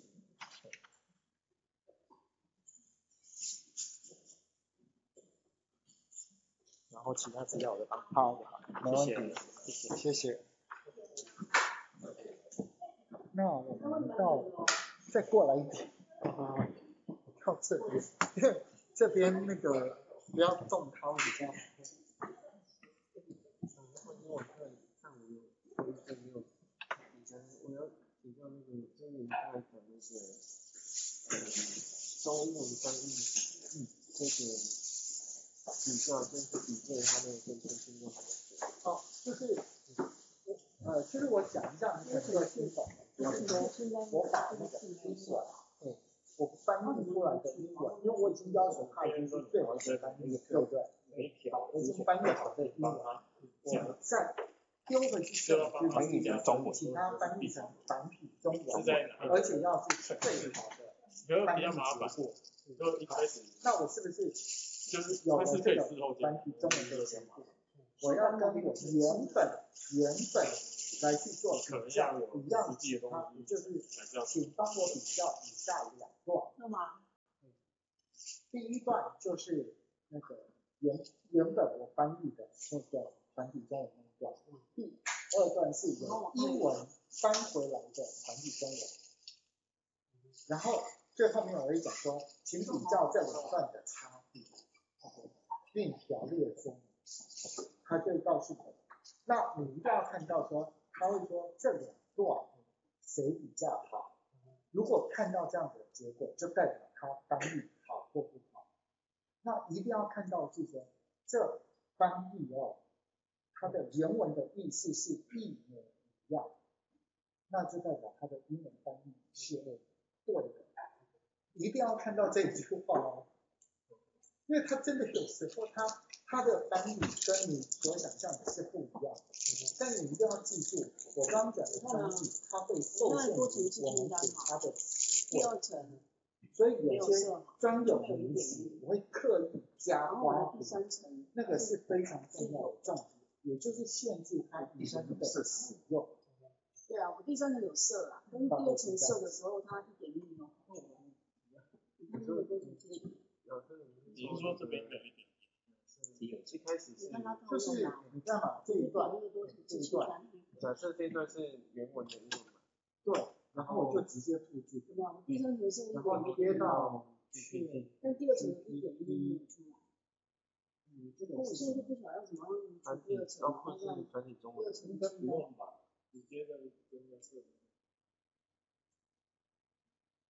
是这上面是你看变更，变更清单阶层，这个是我目说前有的，请翻译成我怎么局部变更？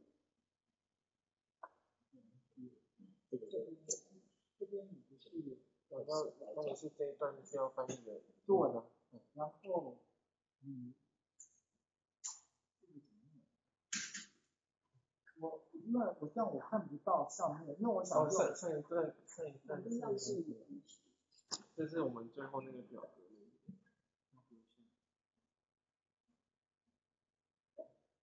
我我的意思是说，这边我就会把这一段英文说起，这是什么我其实我这种奇怪的事，对，那 这这个好像还没有做完呢。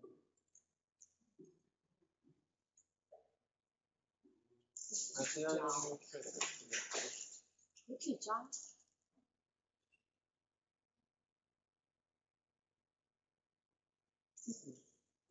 哦，因为我之前好像有装装装过，在其他课程然后用做那个画布，就是外挂。哦，对啊，原来有的不是公那个法律的那个，原来出现点位这个不是公可是我只有那个，就是不然我说是我把请书呃请翻译成然繁后你看体中文，刚刚那个你你把那个放进去。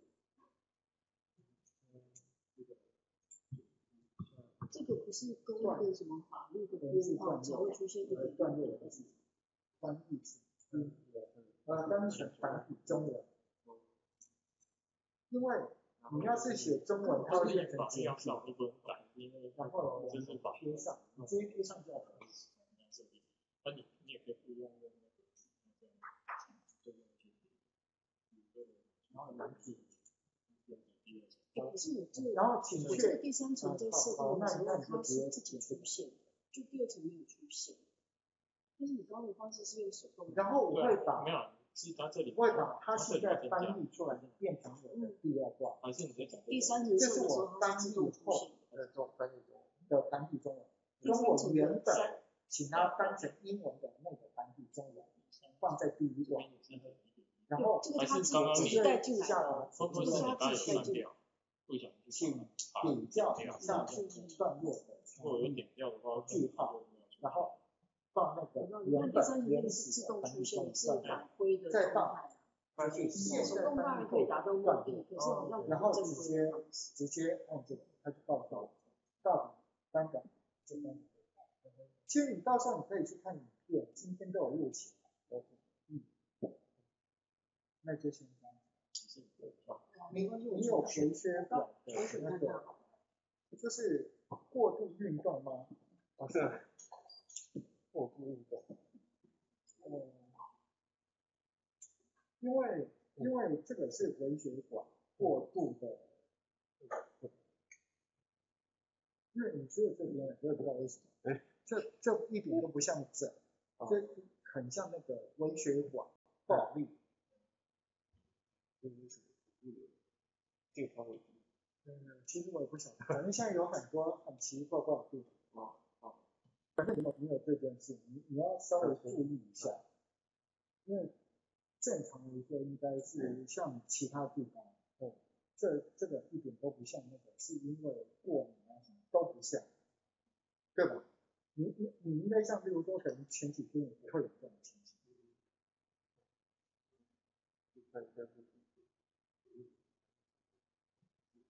对，不晓得。我去一下厕所，啊啊，你你应该就这个问题嘛。啊对对，好好。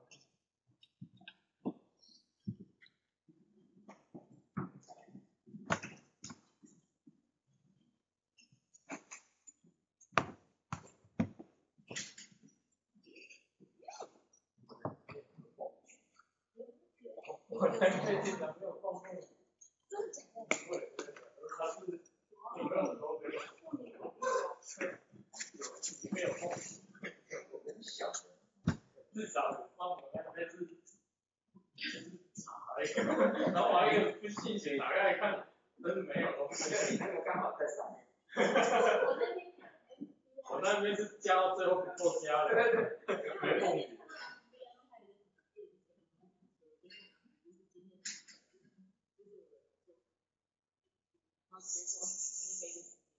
哈哈哈哈哈，那也不错啊，喝蛇鲜奶，超香啊！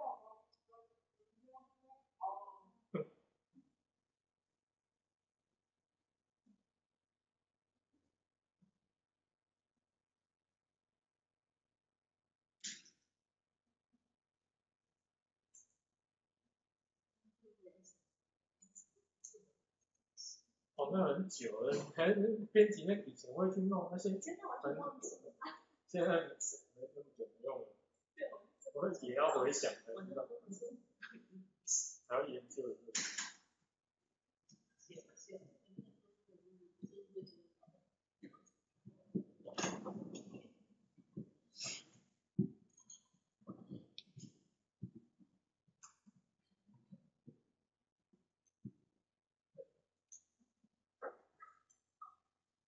们上到四点半，对不对？我先去喝看里面不知道有没有凤梨。它虽然叫凤梨冰茶，结果我那一杯刚好没有凤梨，我想说忘记放。你真的喝那有什么关系？超好笑，只剩下茶味。因为你知不知道现在的水果啊，现在的水果嗯没有一项不甜，嗯，所以这都是不好的。哈哈哈，偶尔喝，开心一下就好。没有白天可以吃水果，嗯，哦晚上睡觉前的点。千万不要，不然台湾的水果其实太太甜了。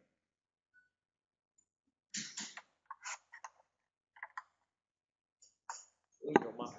他这边有放蜂蜜酒，那就真的是对啊，就两个两个加起来刚好就不需要加太多。是。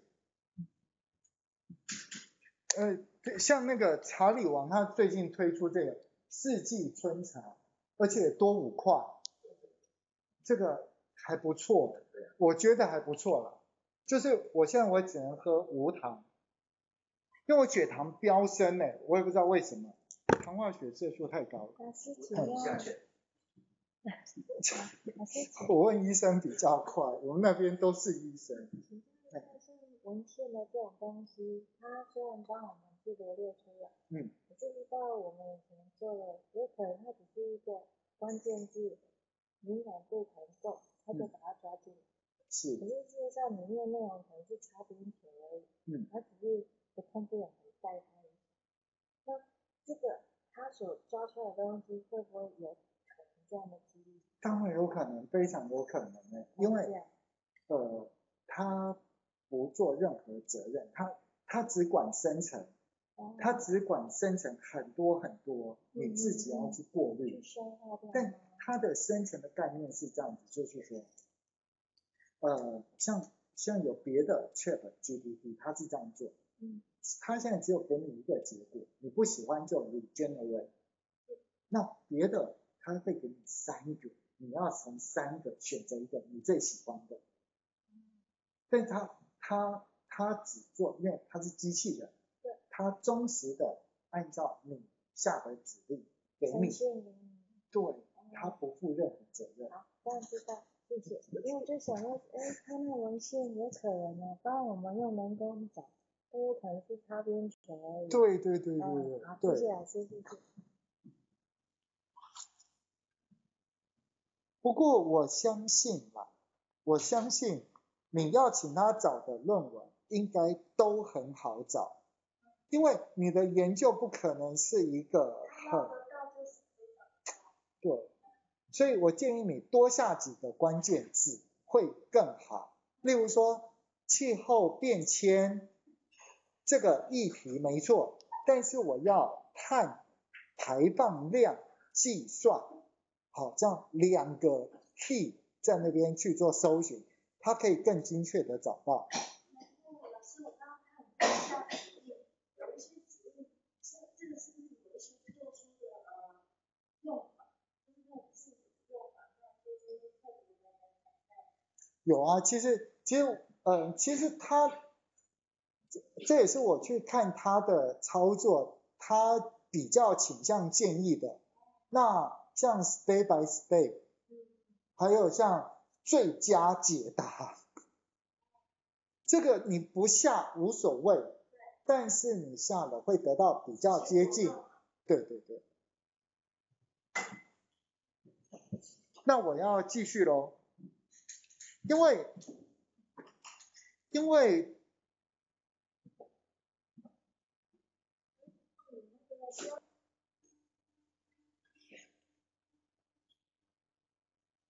好，啊，那我们接下来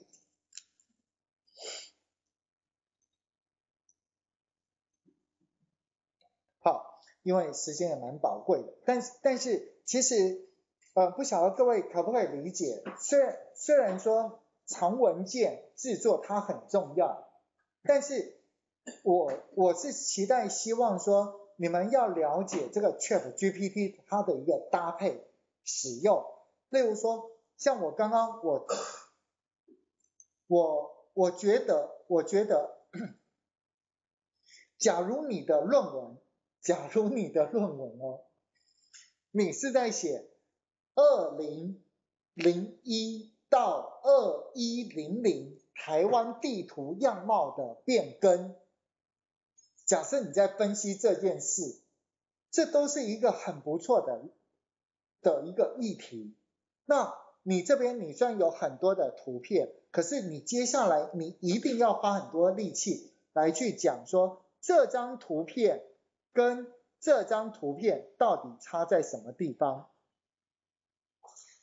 但我不知道你相不相信啦，就是可能在经过七十七年，台湾会长成这个样子，你相信吗？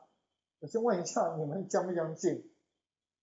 应该不相信吧？我觉得啦，我觉得这就是现在为什么我们我们要去做那个，就是呃，看看用什么方式来去影响气候变迁，或者是减少减碳的一个运动。好，那不管怎么样，反正这只是提供给你参考。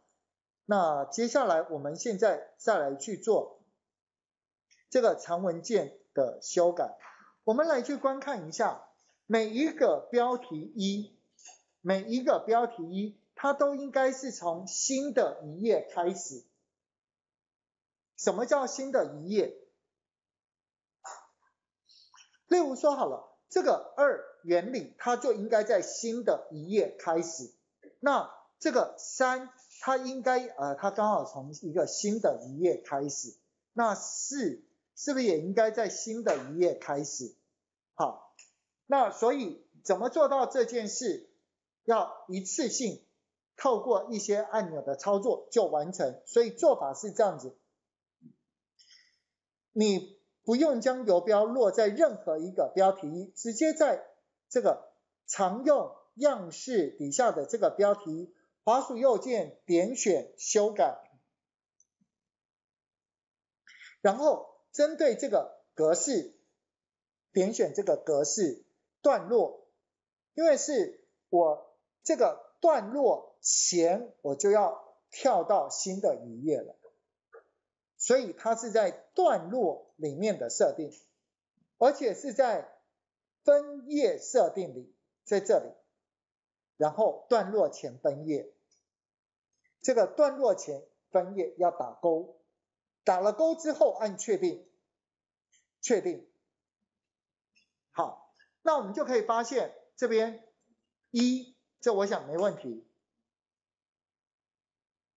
看出来吗？这是我们的标题，这是我们的标题，下面呃你还要放什么作者，然后单位，然后接下来这是我们的第一个标题一，它是不是从一页开始？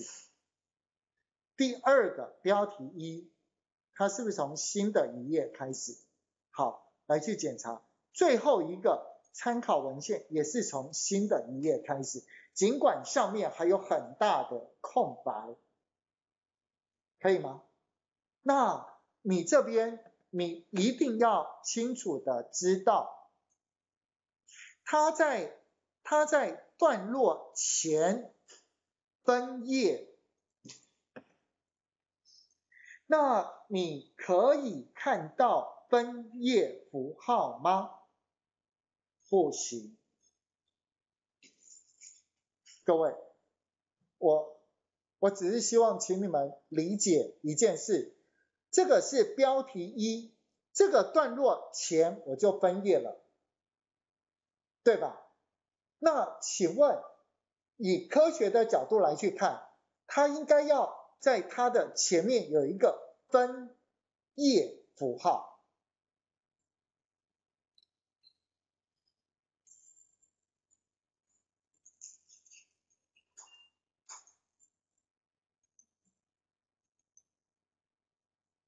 但是你在这个地方是没有看到的。好，因为我们是段落前分页。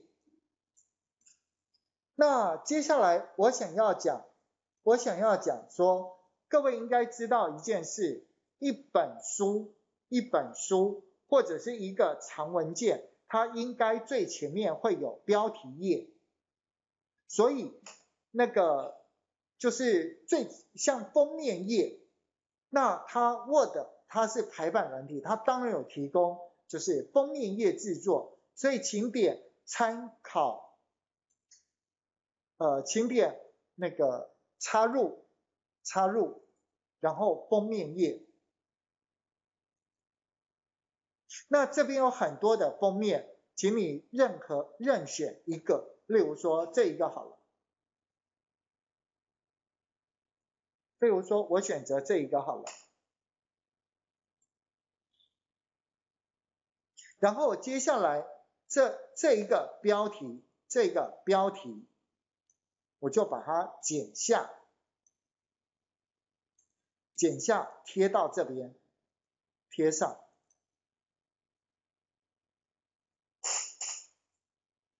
那这一页呢，我就要把它给删除掉了。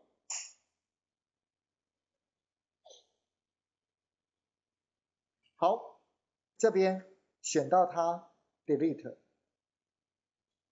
各位，请你先一定要做这件事。我我的意思是说，这是封面页，各位不难去理解嘛。好，这个封面页我还是手动来去把它改成标楷体。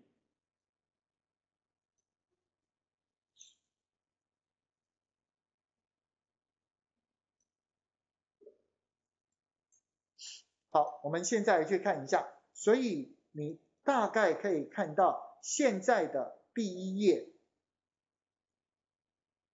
现在的第一页、第二页、第三页。那你这样去看的话，你有没有发现它少了目录？对，我现在就要教你，就是目录还有页码的制作。这是绝对是 Word 文书排版里面最重要，可是也是最多同学花很多时间在那边手动编，编出来的结果都不是很好。那至少我教你们一个小 paper，就是封面页做一页，接下来那个目录做成一个档案，还有什么？还有。表呃图目录做成一个档案，表目录做成一个档案，再来内容内容就是从这边开始做成一个档案，听得懂我的意思吗？这样子的话，你的页码就是我现在教你的方式，你就可以不用听了，就是你把它做成不同的档案，然后分别列印出来。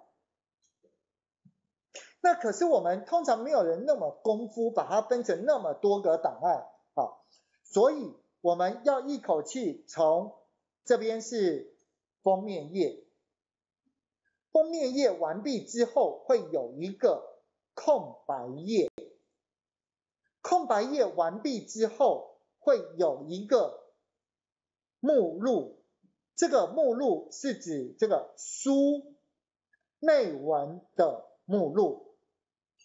而且一定都是在奇数页、奇数页开始。好，那所以首先我要如何增加内文目录？所以请将游标移到这个这个一这个字的前面。我刻意把整个画面缩小给你看。我现在是要将游标落在这个一的前面。看得出来吗？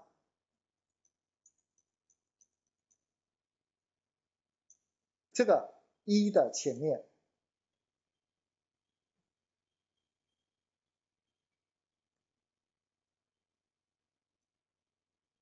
然后请你点一下 Enter，结果却发生了这件事，就是这个不是应该是。那个标题一的一不见了，对吧？请你先将这一个，请你先将这一个段落先改成叫做内文，这个是内文哦，因为封面页跟内文中间是不是应该放目录？好，所以就请你输入目录。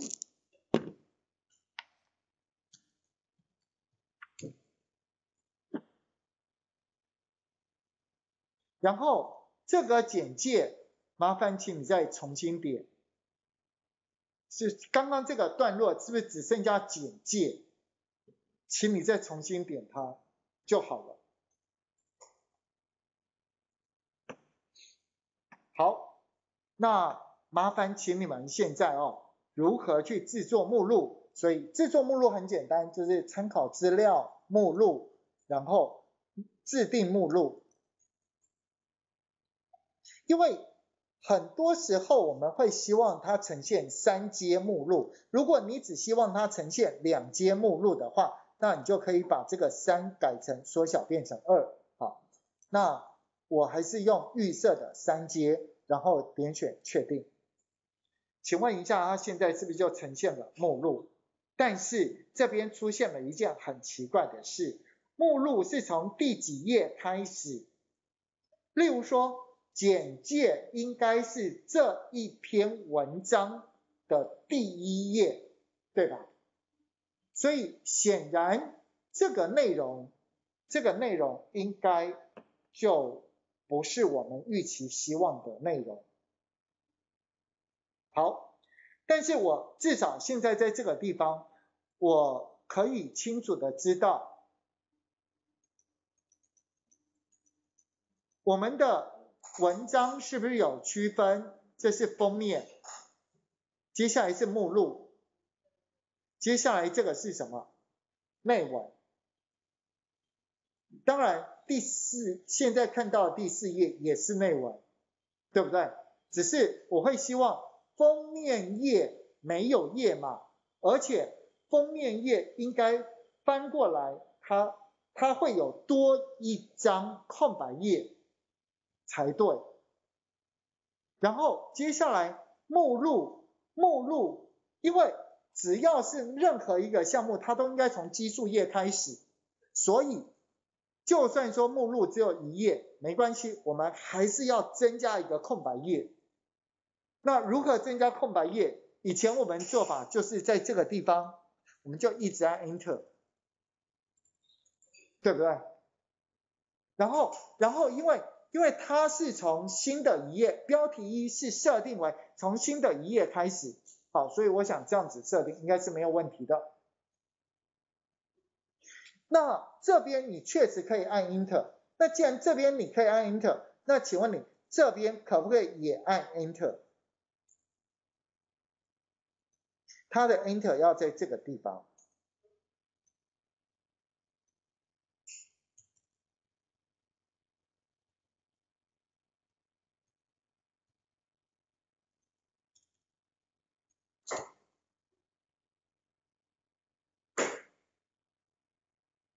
嗯，它的它的 Enter，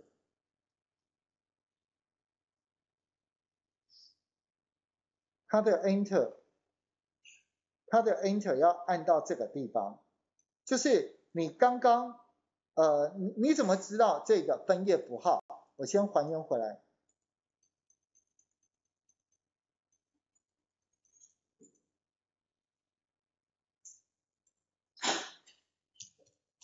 好，你看这个地方，你有没有看到它是不是跳到就是目录，这是基数呃目录的第一页，然后这是目录的第二页。那接下来封面，我是不是说封面其实它应该也是有两页，一个是封面是有内容，一个是背面，背面是完全没有任何内容。所以你可以将游标落在这个分页符号。那你怎么看到这个分页符号呢？你可以，你可以用这个，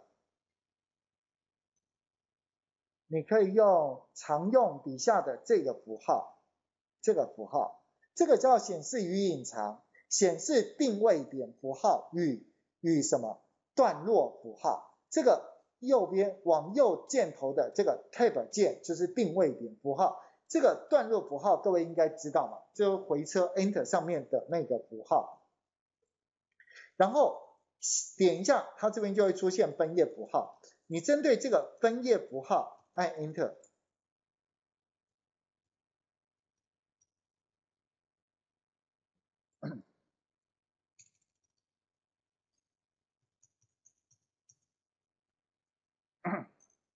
好，这样子的话是不是？就产生了这个封面，然后这个目录以及内文，可以吗？你这样印出来，就全部它都是从奇数页，也就是我们文件翻过来，呃右右边这样子，然后打开的书来去看的内容。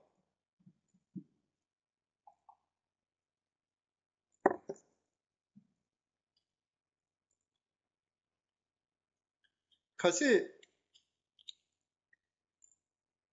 我们在做这件事情的时候，我觉得这样做真的很不好。你按 Enter，你到底要按几个 Enter？而且很神奇的是，当你把这份文件你拿到另外一台电脑来去看的时候，它可能会因为因为这个 Enter 少了一个，所以目录两个字跑到上一页的尾巴。听得懂我的意思吗？所以这样子这样子的一个设计其实是很不好，千万不要。我说过，只要你重复按五次 Enter，你这时候就应该要问了，有没有什么方式，永远都是让目录两个字是在新的一页。所以其实它应该是这样子做，就是你可以将游标可以在这个分页符号的后面，你可以多按几个 Enter 键，它是不是到下一页？然后请在这个地方去点选版面配置分节符号、分隔符号里面的分节符号下一页。所以这边我们要认识有一个叫分节符号。分页符号，我想不用介绍，它就是跳到下一页去。可是，当我今天是设定分页符号，我没有用节来去控制的话，它到时候整个都是在完整的一节。各位，既然是在完整的一节，所以这里面的页首、页尾、页码，它都会属于相同的一致性设定，只有。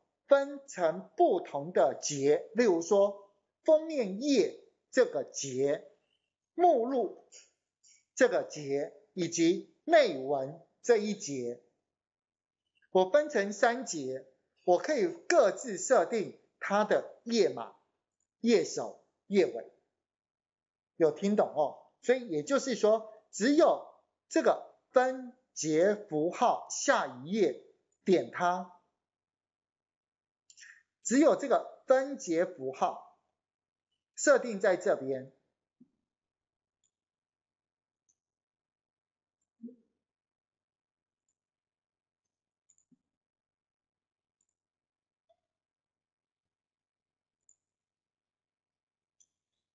嗯，我稍微放大一点。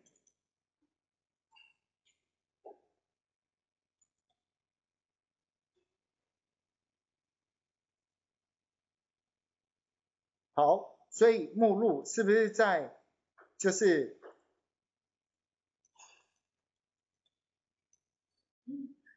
目录是不是就是在这个地方开始？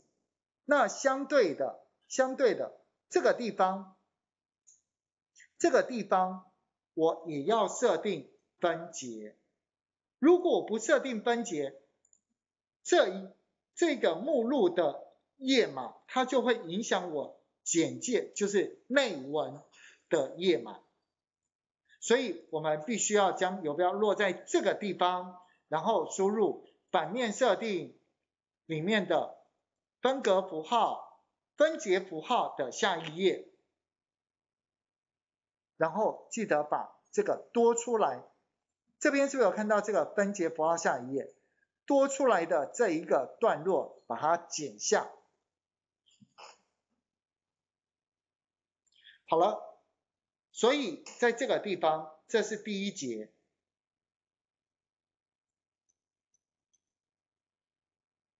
这两页是第一节，这两页是第二节，下面全部都是第三节。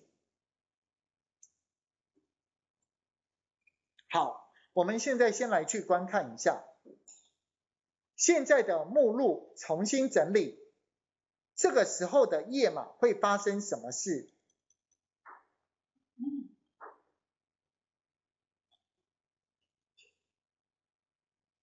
各位，我们的内文它是从第几页开始？好，我们封面有两页，目录有两页，再加上我们的简介应该在第五页开始喽。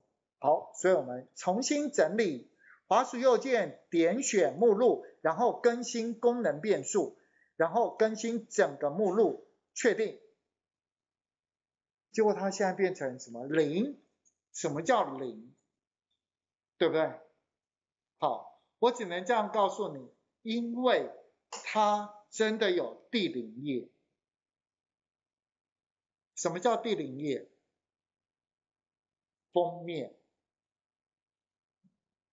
好，那我们现在就要来去设定正确的页码进去。首先，我们这边是不是有三节都要各自设页码？为什么？封面没有页码，目录页码它是 I I I，然后内文它是一二三。所以是三种不同形式的页码。好，那我们现在就先来看第一个。第一个，请问你觉得要先设封面页码目，然后再来设目录页码，还是内文页码？答案是，我们要先设定内文页码，再设定目录页码，再设定封面页码。为什么呢？因为封面页码是不用页码，既然不用页码，其实我们最后是把页码给删掉。那如果说，如果说你第一个就把页码删掉，第二个你又会发现你又没有页码，又插入页码，所以等于说一直循环在那边重复做插入页码、删除页码、插入页码。那如果你是从内文页码，再做目录页码，再做封面页码，等于说我先把最底层设计好，设计好之后，我再去呃内文页码设计好，我再去设计设计目录页码以及最后的封面页码。好，这个顺序请各位稍微知道一下。那首先将游标落在任何一个内文。这叫内文页，各位应该可以理解，这叫内文页。然后我们现在来去看一下，要插入页码，所以当然就在游标是落在任何一个内文页哦，你可以在内文第一页、内文第二页随便，然后插入底下这边可以看到有一个叫做那个页首页尾页码。好，然后点选，点选，我希望放在页面底端，页面底端的这个纯文字二，然后，然后你现在应该可以看到这个，这个这一页，因为我现在。我们的页码是设定在页尾，所以你可以在这个地方看到它是节三，节三。那每一节它有区分，第一页、第二呃，对不起，第一页第一个偶数页，第一个奇数页。哦，不晓得各位可不可以理解这个概念？因为有些人针对那个页，就是例如说内文、内文目呃内文部分的第一页不设页码，有些人他可以他希望是这样子做的，但我觉得你不用了解这么多，我们现在。我们现在我们要去知道一件事情，就是说这个零，这个零，我个人呢是没有看过从第零页开始编那个内文页嘛，我们都是从一开始编，但你要知道我是不是要去修改这个页码，所以选到这个零，选到这个零。然后，首先第一个要关掉它，这边连程序都不能错，连接到前一节，请问一下，这个叫做铜钱，连连接到前一节叫铜钱，可以理解吗？所以请把它关掉，这个铜钱就关掉了。然后接下来，这个这个零啊，这个零。我会希望它从一开始编，所以所以现在是在页首及页尾，请点选这个页码的页码格式。好，首先呢，首先我的起始页码从一开始编，从一开始，而不是零。确定。再来，我希望这个字大一点，这个一实在太小了。页码通常我会把它设成，就是至少十二，至少十二。你设成十四也可以。好，那你有没有发现，当我设成十十四的时候？只是为了上课方便，让我们来观看。我会把现在这个内容给往前删掉，有没有看到这个？我会把它给往前删掉。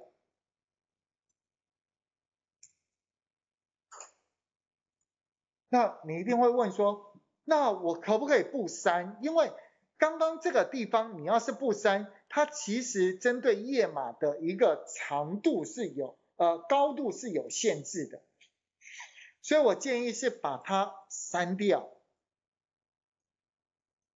好，因为这是第一页的页尾的页码设定，那是不是会有这个这个截删截删页尾？各位，这个叫做第一页的。截删页尾，那你还要再去手动设定。这个其实是第一个奇数页，可是因为刚刚的铜钱被我们关掉，呃，第一个偶数页，因为它是第二页嘛，所以，所以我会，呃，而且这个铜钱，它的铜钱是指同目录的第二页哦。这这这个铜钱要请稍微注意一下，对吧？如果这个铜钱是同上一上一个，那不就是应该是同这一个？好，所以我们先把这一个这一个地方，我们是不是页首页尾的？现在在这个地方哦，铜钱给关掉。然后我们去插入插入页首页尾，跟刚刚的做法一样。然后然后你会发现这个游标现在在这边嘛，把它给往前删，请把这个二字稍微大小改成十四。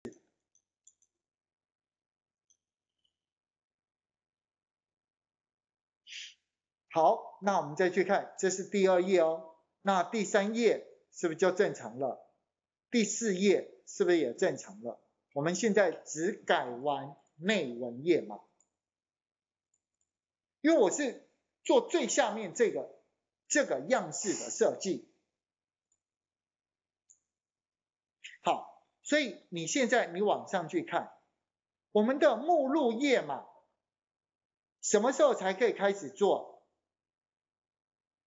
内文页码整个做完，我才可以回来去做目录页码。我是从下面开始往上做，所以这边一样把这个第一个目录页码，第一个目录页的页码卷举起来，这个铜钱关掉，铜钱这边关掉。接下来呢，目录页码它的页码样式。啊，这个这个先把它删掉，选到它，然后页码，然后页码格式。首先你要知道目录的页码是小写的 i，那罗马罗马这呃所有的数字所有的数字罗马数字是没有零，可是你这边其实页码是设零。目录的起始页码设为零，所以这边这边它就会刚跳出来说起始页码必须介于一到多少之间，所以请赶快把这个起始页码设为一，它等一下就会出现一个 i，确定。然后请把它一样，我我习惯是把它设成十四，还有，因为它是什么？它是目录，所以我会给它 i。所以这边可以看到那个一个小写的 i。再接下来，目录的第二页。它是不是空白？因为我没有那么长的目录嘛，所以请问你目录的第二页内容都是空白，需不需要在下面页码设定 II 这个页码？需要还是不需要？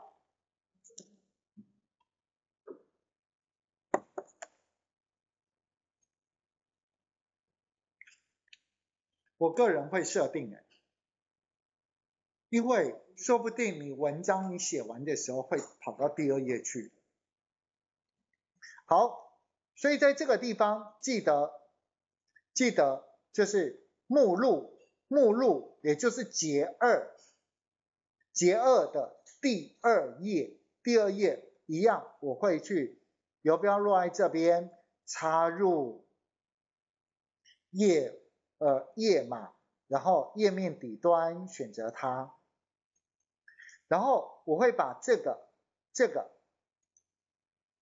往前塞，还有铜钱关掉，就是我自己这一节，我不要参考到前面的封面页那一节，这个连接到前一节所指的前一节嘛，那就是封面节，封面页这一节。那我们接下来选择 II，然后。大小设好，好，那接下来是不是剩下封面页了？那封面页有没有叫做连接到前一节？当然没有啦，对不对？对吧？它当然不会有铜钱。请问封面的前一节是谁？没有吧，对不对？好，所以这一页你只需要把这个封面第二页这边要不要留下来？不用，因为封面是没有页码的，所以就直接 delete 掉。既然 delete 了，无关格式，对吧？好了。也就是说，我们的封面就整个设定好了。这是我认为，这是我认为，就是整个今天课程里面最困难，而且你一定要会设定。好，储存。是。封面既然没有设页尾，嗯。那第二节它铜钱就没有用的效果。我关掉了。我关掉了，我都不要铜钱。有。因为封面而影响你你这边我的封面封面页是删掉。对，就没有设页尾。对。那第二节的部分，如果铜钱没有删掉，你不会有任何影响。不行啊，我我以我个人的习惯，这个 II 我是会让它出现的。这个 II 我是会让它出现，我不会让它消失。不晓得你可不可以了解我一下？所以铜钱如果没有删掉，然后页首又没有页封面又没有设页尾，所以 II 就不会出现。封面没有设页尾，封面没有设页尾是指页尾里面是空的，是吗？页尾里面是空的。现在想要知道铜钱删与不删的效果是什么？那如果如果这边有铜钱，那我那边不是已经没有页码，它这边就不会有页码。好，那我们接下来我们就把这这个文件离开页首页尾，因为现在不管怎么样，我们是不是都还是在页首页尾？你怎么知道我们现在是在页首页尾？是因为你看我现在是不是在页尾里面一闪一灭？这是游标所在位置。所以如何离开页首页尾？有几种做法，一种就是回到这个页首及页尾，然后点选关闭页首页尾，或者是直接在任何一个内容地方快速点两下。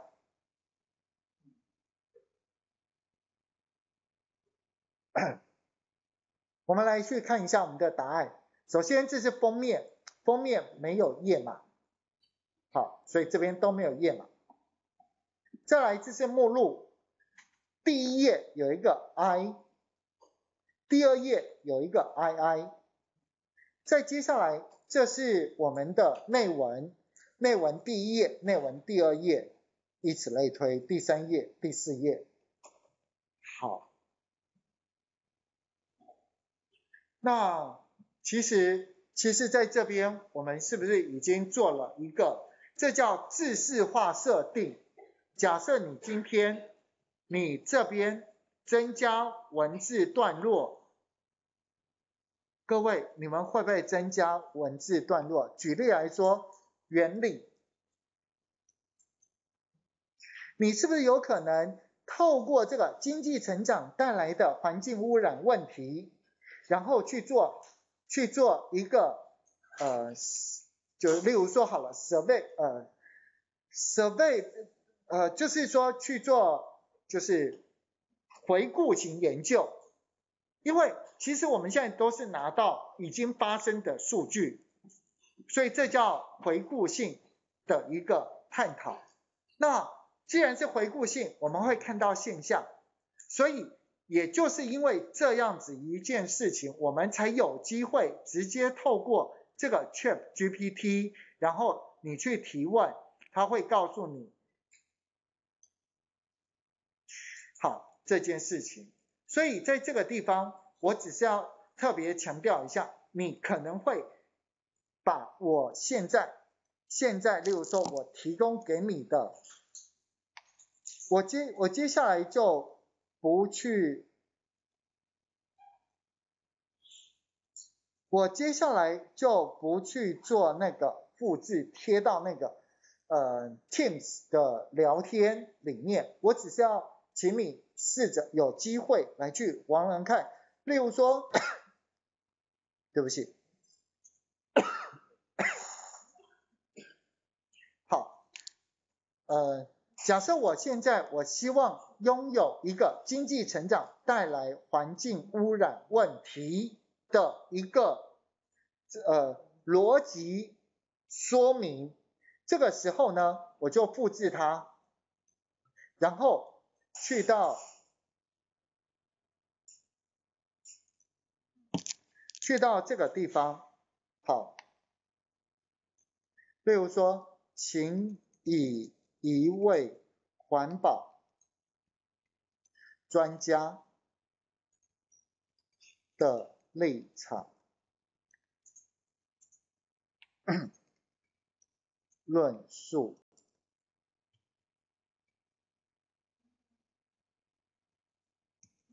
论述经济成长，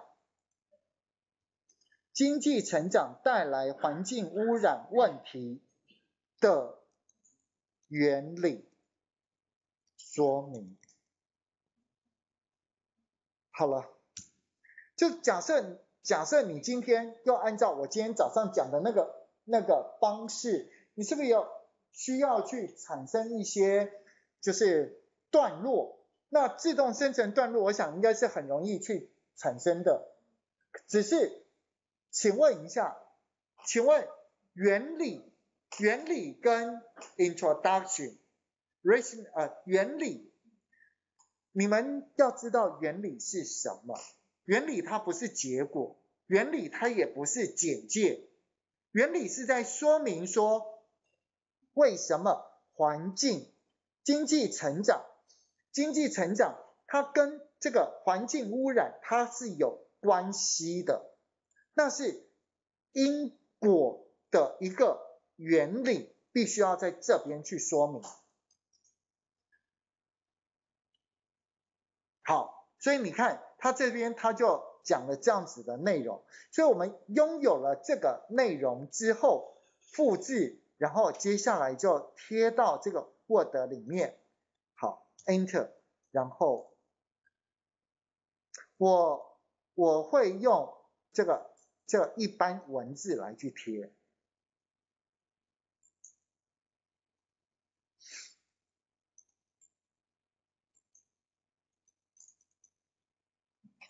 好，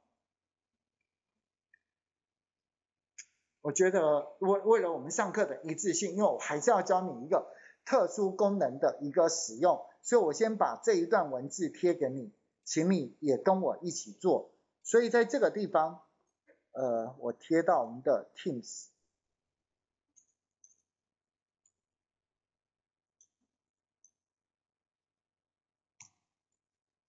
好，那就。麻烦请各位哦，贴到这里。各位，你不要小看这个 Open Grammarly 哦，它在 Teams 里面也是可以直接直接来去做校正的。好，这这个呃，我个人我个人是是是很喜欢 ChatGPT 里面的英文。的一个就是 check 的功能，因为我的英文不是那么好，当我在写打字的时候，它一个及时性的检查，好，我觉得我还蛮喜欢的。然后接下来，我现在要跟你们分享的内容就是说，你可能会一直不断的增加这些内容，让它的这个页数增加。那这个时候，我们再重新去更新我们的页码，我们来去看一下。针对这个目录内容，各位，刚刚我设定简介在第一页嘛？好，我们来去确认一下，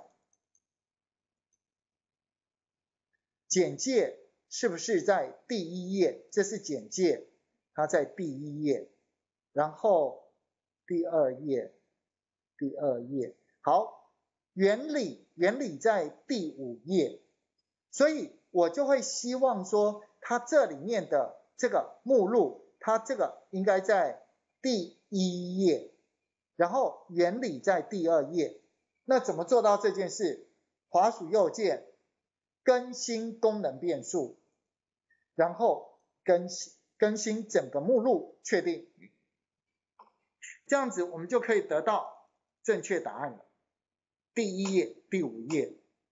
好，抽检的方式，Ctrl 键按住，点选任何一格。看看它是不是在第七页。拉回去，拉回去。例如说，这个这个是不是在第九页？好，讨论在第九页，Ctrl 键按住，然后点选讨论。讨论它是不是在第九页？好，我想这应该都是没有问题。那我在这个地方要特别强调，请你们稍微知道一下。例如说，刚我在讲我在讲原理的时候，经济成长带来的环境污染问题，好，的一个原理。各位，当我们今天我们再去做那个。做一个原理的说明，请各位一定要记住哦。我们不是在写 result，也不是在写 introduction，我们只是在讲说啊，因为经济成长，我们可能会用电量增加，用电量增加，这个时候会导致就是呃热的产生，然后气体有一些，例如说二氧化碳气体。它会增加之类的这个原理，要在这边讲出来。好，那你有没有发现，我从我从 Chat GPT 带过来的文字，记住他写的话，真的，一看我就知道，一点都不像科学科学 科学研究所会讲的话，因为你看哦，经济成长在现代社会中扮演着至关重要的角色。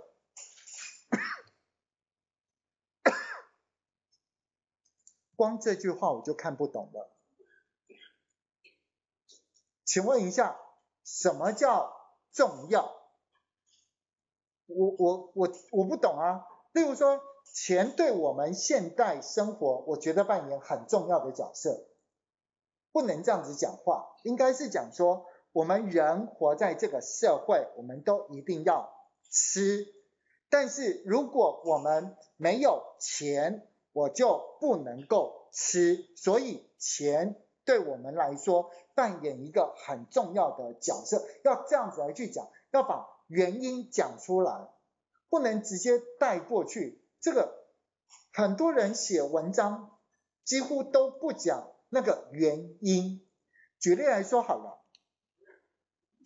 经济成长它会带给我们有新的科技产品使用，然后让我们的生活得到改善。所以，所以经济成长对于我们就是现代社会中扮演一定程度的一个影响角色。我希望说以后你们去写文章，也要朝这个方向来去写。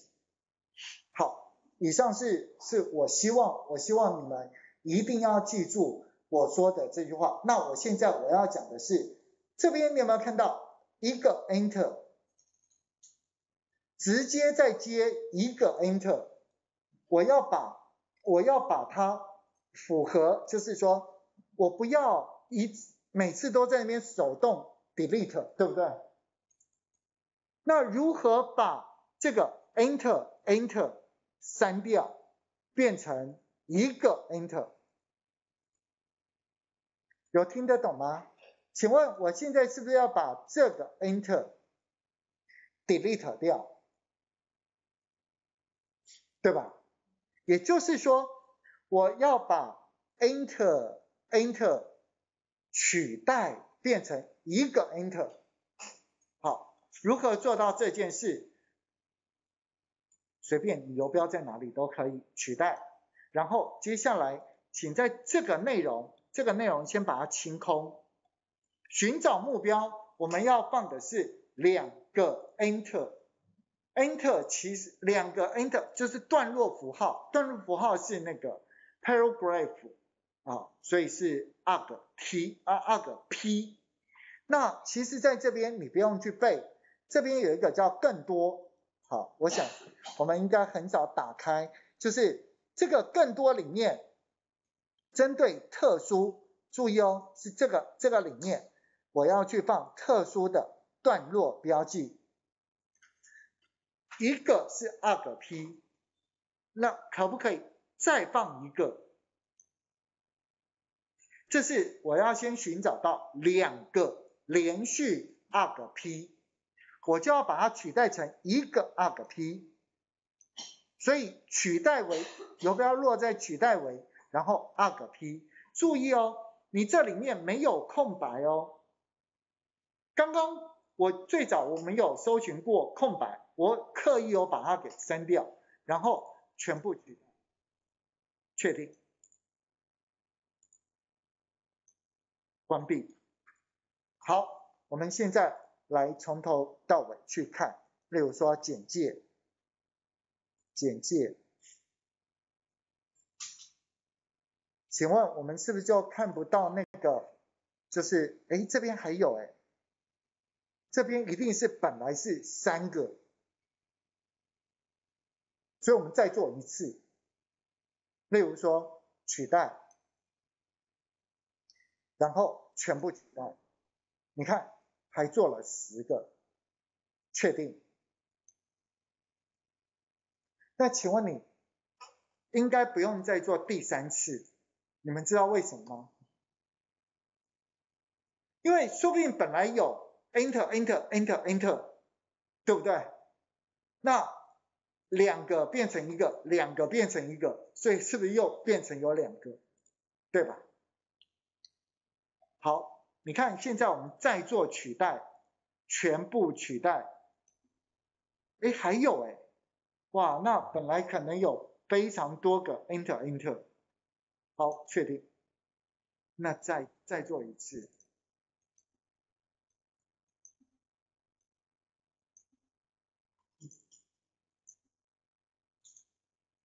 我看他到底在做哪里呀？是不是最后那个段落？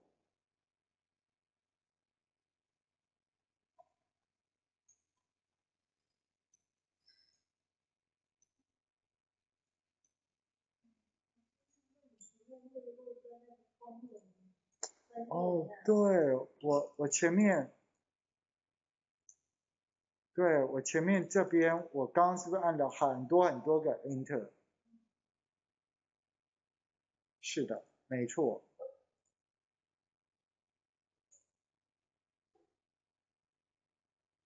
然后这个这个，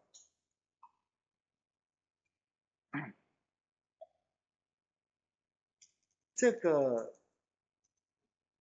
这个一定要到这一页。好，我们再去看缩小。好，所以。这边是封面，封面的背面，接下来是目录，目录的背面。其实这是图，呃，这个是内文目录，那我们还有表格目录，对不对？所以，所以顺便教一下，假设这一页，因为只要是目录，我们都从新的一页开始，所以我们这边我们就放表目录。那如果你有内文目录、图目录、表目录，我们是按照这个顺序来去放的。那请问你附录有没有目录？如果你今天你把附录是做在新的一个档案，你可以去做附录的目录。不然，我们其实会把那个附录里面如果有很多很多，我们会。放在原原本的这个目录继续编，就是例如说，它这边它会出现那个那个，例如说八附录，然后第一个附录是什么？呃，附录一、附录二、附录三，以此类推。而且而且有些人的附录更厚。可是他会要求附录必须要放在本文的最下面，只要放目录就好了。所以，所以，因为他在这里面找不到嘛，所以他的页码会呈现什么？他在这边没有页码，不晓得各位可不可以理解？例如说，在这个地方我就会出现。出现，例如说七附录，对不对？然后可能会有什么附录一点点点点，然后你只要放一个页码，对不对？所以这边你会放什么？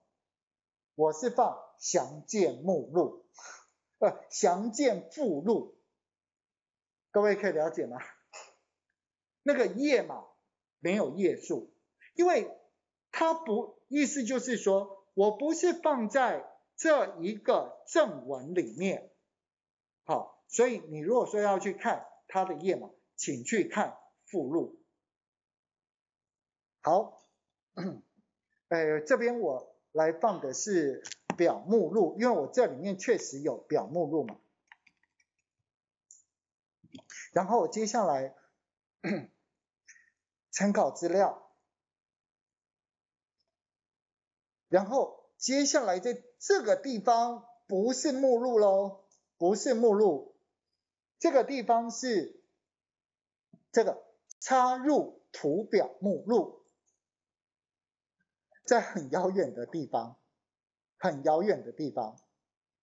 好，那因为我刚刚我只有做表格，表格一、表格二，所以在这个地方你可以去选择表格，然后点选确定。所以我们这边是不是有表格一、表格二？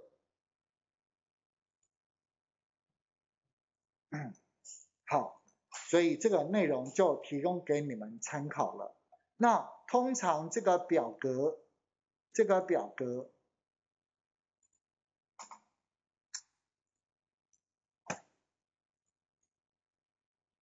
这这个表格其实我不喜欢，我不喜欢设到这么边边，我喜欢稍微稍微搬到左边一点点。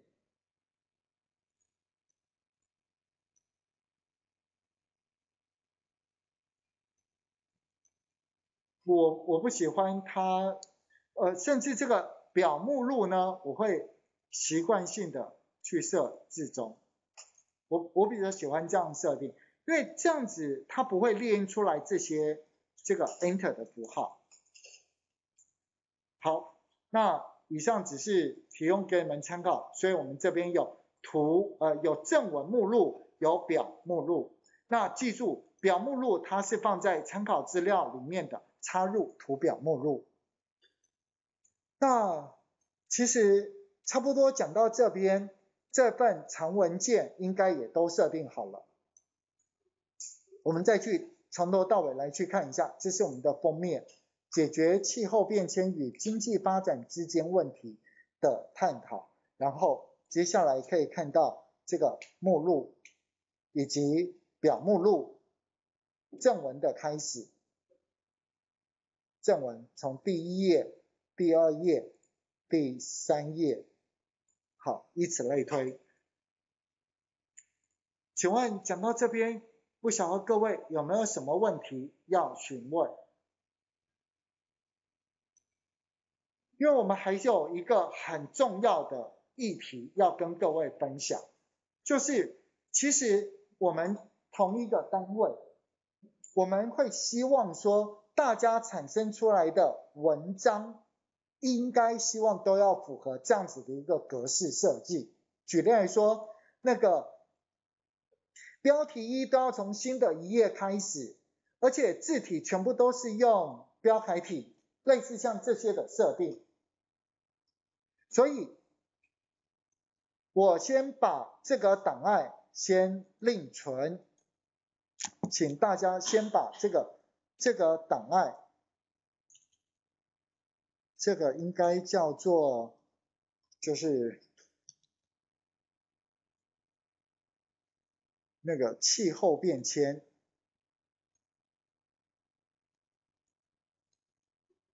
与经济发展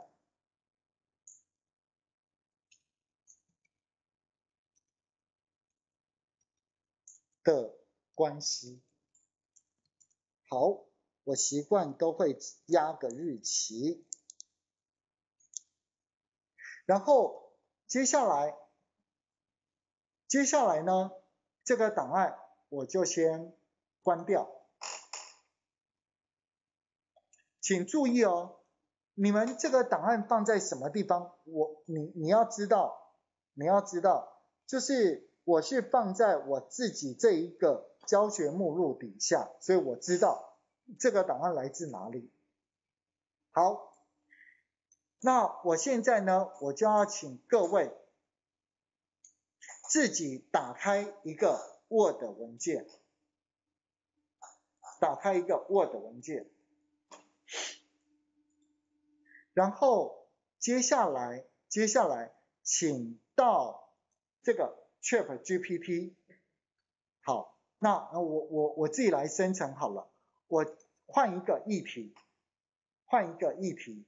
其实我不太晓得金属中心你们会常常写的一个报告会是什么。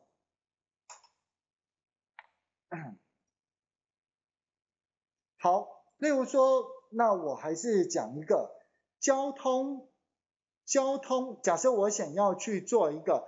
呃，交通意外事件的一个调查报告，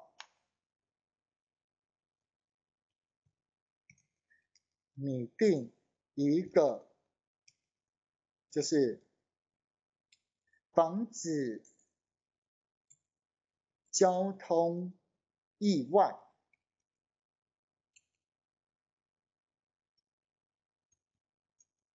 因为 accident 交通事故，交通事故与与确保个人身安全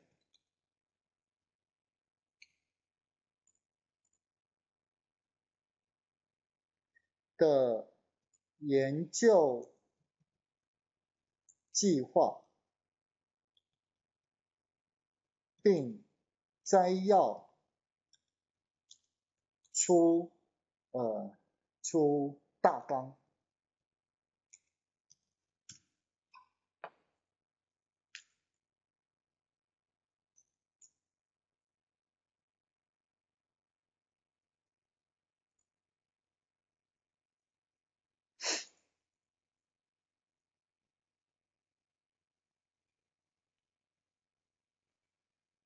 好，就是假设我现在我又在拟定了另外一个研究计划，然后接下来呃，因为是研究计划嘛，所以它有一个 result 是预期成果。好，那我就先把这个内容复制给大家。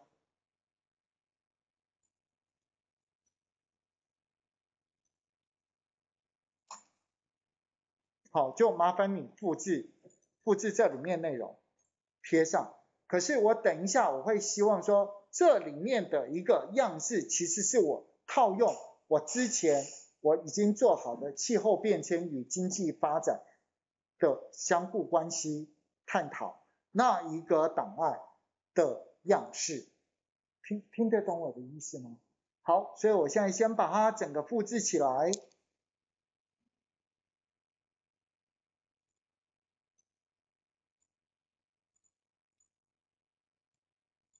然后贴到我的新开的这个 Word 档案，然后接下来呢，接下来这是我的呃标题，然后这是我的标题一内文，然后研究目标，假设我先设标题一研究方法标题一，接下来预期成果。标题一，然后我把这个数据分析叫做标题二，这个用 GPS Enter，这个我也叫做标题二，Enter，这个叫做标题二。回顾文献回顾标题二，好，那各位这个符号我先把它给删掉，删掉我的做法不是按那个 backspace，我是用取代，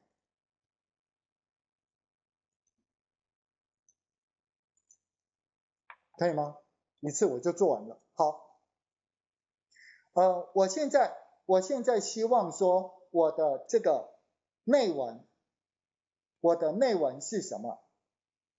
是标楷体，还记得十四字形大小吗？好，那我们现在就来去看怎么做。也就是说，我现在这里面的内文标题一、标题二，我就要用原本就是那个档案它规定成什么样子，我这边我就要整个直接套用。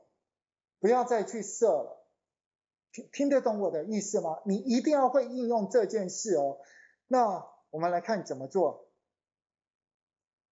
首先，在常用底下的样式这个地方，你绝对不知道，它藏在这里。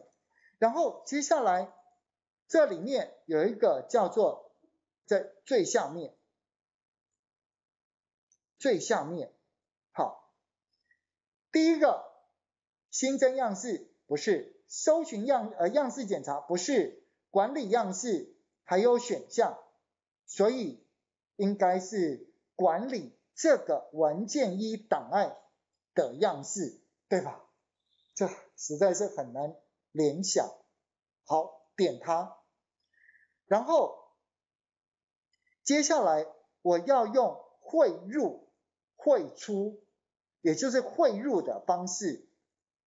这是，这是我现在这份文件，这是我想要去参考的那份文件。所以我先把这个参考的 normal 点 dotm 关掉，然后开启。我是放在我的我我自己知道刚刚那个档案我放在哪里哦，一磁碟机教学影片二零二三底下的这个。那你会说这里面一个档案都没有，哎，可是我刚明就放在这边了，那是因为这个副档案。副档案我一定要切换，变成什么？变成所有档案。你看在这里面是不是就有一个就是，哎，跑去哪里了？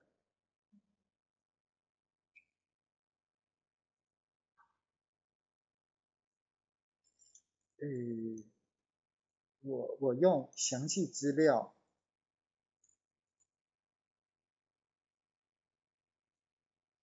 因为我刚才存档的这个了，这个可以吗？这个档案，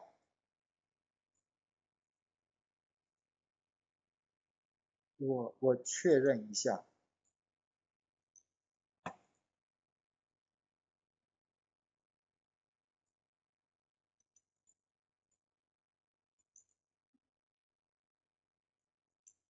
好吧，我这边我现在取消，呃，应该是了，我也没有那么多档案，一叠底下这个教学影片二零二三底下的这个金属中心，然后把它改成所有档案，所有档案里面，然后接下来应该是这个，因为我记得我有加日期，然后。哎，还真的不是，哎，那我刚刚存到哪里去啊？我看一下，我刚存到，哦，对不起，我存到那个呃我的文件里面，我的文件里面，九分钟前有看到吗？好，不好意思，我再做一次。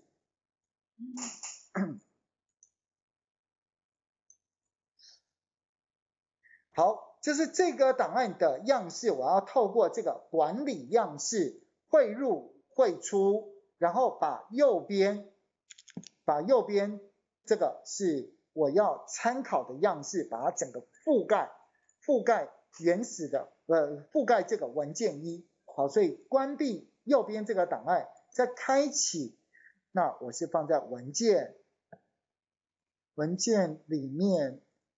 有一个使呃 C 碟使用者的 can 底下文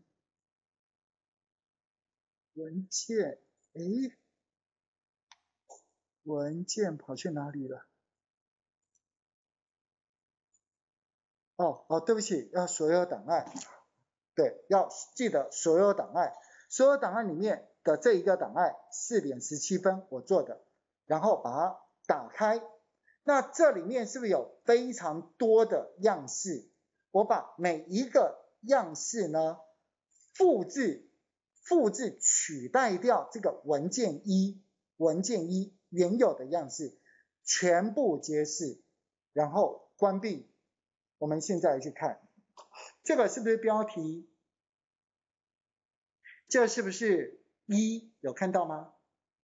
然后这是不是内文？然后这个标题一它是不是从新的一页开始？然后这是第二个标题，从新的一页开始，可以了解吗？所以我们通常在投稿前，为了尊重那一 journal，呃，它的格式要求，我们都会跟他要这个样式档，所以请把样式档给我，然然后我们只是套用，那套用就是我现在教的方法。好，我想时间也过得很快，我们稍微回想一下，我们今天就是后面后面主要在跟各位分享，就是说回到这个 Word 文书排版，它几个很重要的观点，各位一定要会。举例来说，长文件里面的页码，它真的是最重要的。千万不可以手工在那边去设这个插入多少页。那接下来再来就是，当我们今天我们做好的这个样式，一定要给其他文章可以套用。这件事情，我觉得是各位一定要学会，因为我们要创造金属中心那个文件标准格式。好，也也许你们会希望每一页都要在某一个地方放放一个金属中心那个 logo，都都有可能像那个学校的学位论文，它就是中间要放一个国立阳明交通大学那个很大的那个 logo，好，以证明说就是类似像别人讲的浮水印。好，那我想浮水印其实以前。你你如果有机会，你就去搜寻我的影片，都有去教这些东西的制作，但这都不是很重要重点了。好，那我们从今天早上跟各位分享 Word 文书遇见训练 Chat GPT 的时候，我们跟各位分享了 Chat GPT，它是一个生成很棒的工具，但是你一定要把它重新校正，而且按照我们基本的逻辑思考来去改里面的文章内容，其实你会发现机器写出来的文章，你一定要先去思考，它跟我们到底差在什么地方？为什么？为什么有些软体它一看就知道这是机器写的？好，那我今天我教你是正规，就是说每一句话，每一句话。尤其是我不晓得你们看到这个标题的时候有没有看到“训练”这两个字？因为因为 Chat GPT，我想你们听到不要再听了。但是我为什么刻意一定要放“训练”？这样理解吗？也就是说，我把训练的定义定义成你要会下指令去训练它。那出现的结果，你要会去验证它到底说的是对或不对。如果不对的时候，我们应该要怎么样再训练？所以，所以在这个课程，我就把它着重定义在说，当我们调整好我们的相关训练之后，我们怎么样结合 Word 文书排版？好，也就是将。自动生成的内容经过 Word 它最强的文书排版来去呈现，变成一个长文件。以上是我就是诚心的推荐，让你们能够可以创造出更好的一个呃研究计划或者是长文件。这就是今天课程最重要的地方。好，那我想。我们的课程就先暂时上到这边，如果没有问题的话，再欢迎你就是跟我讨论，谢谢大家。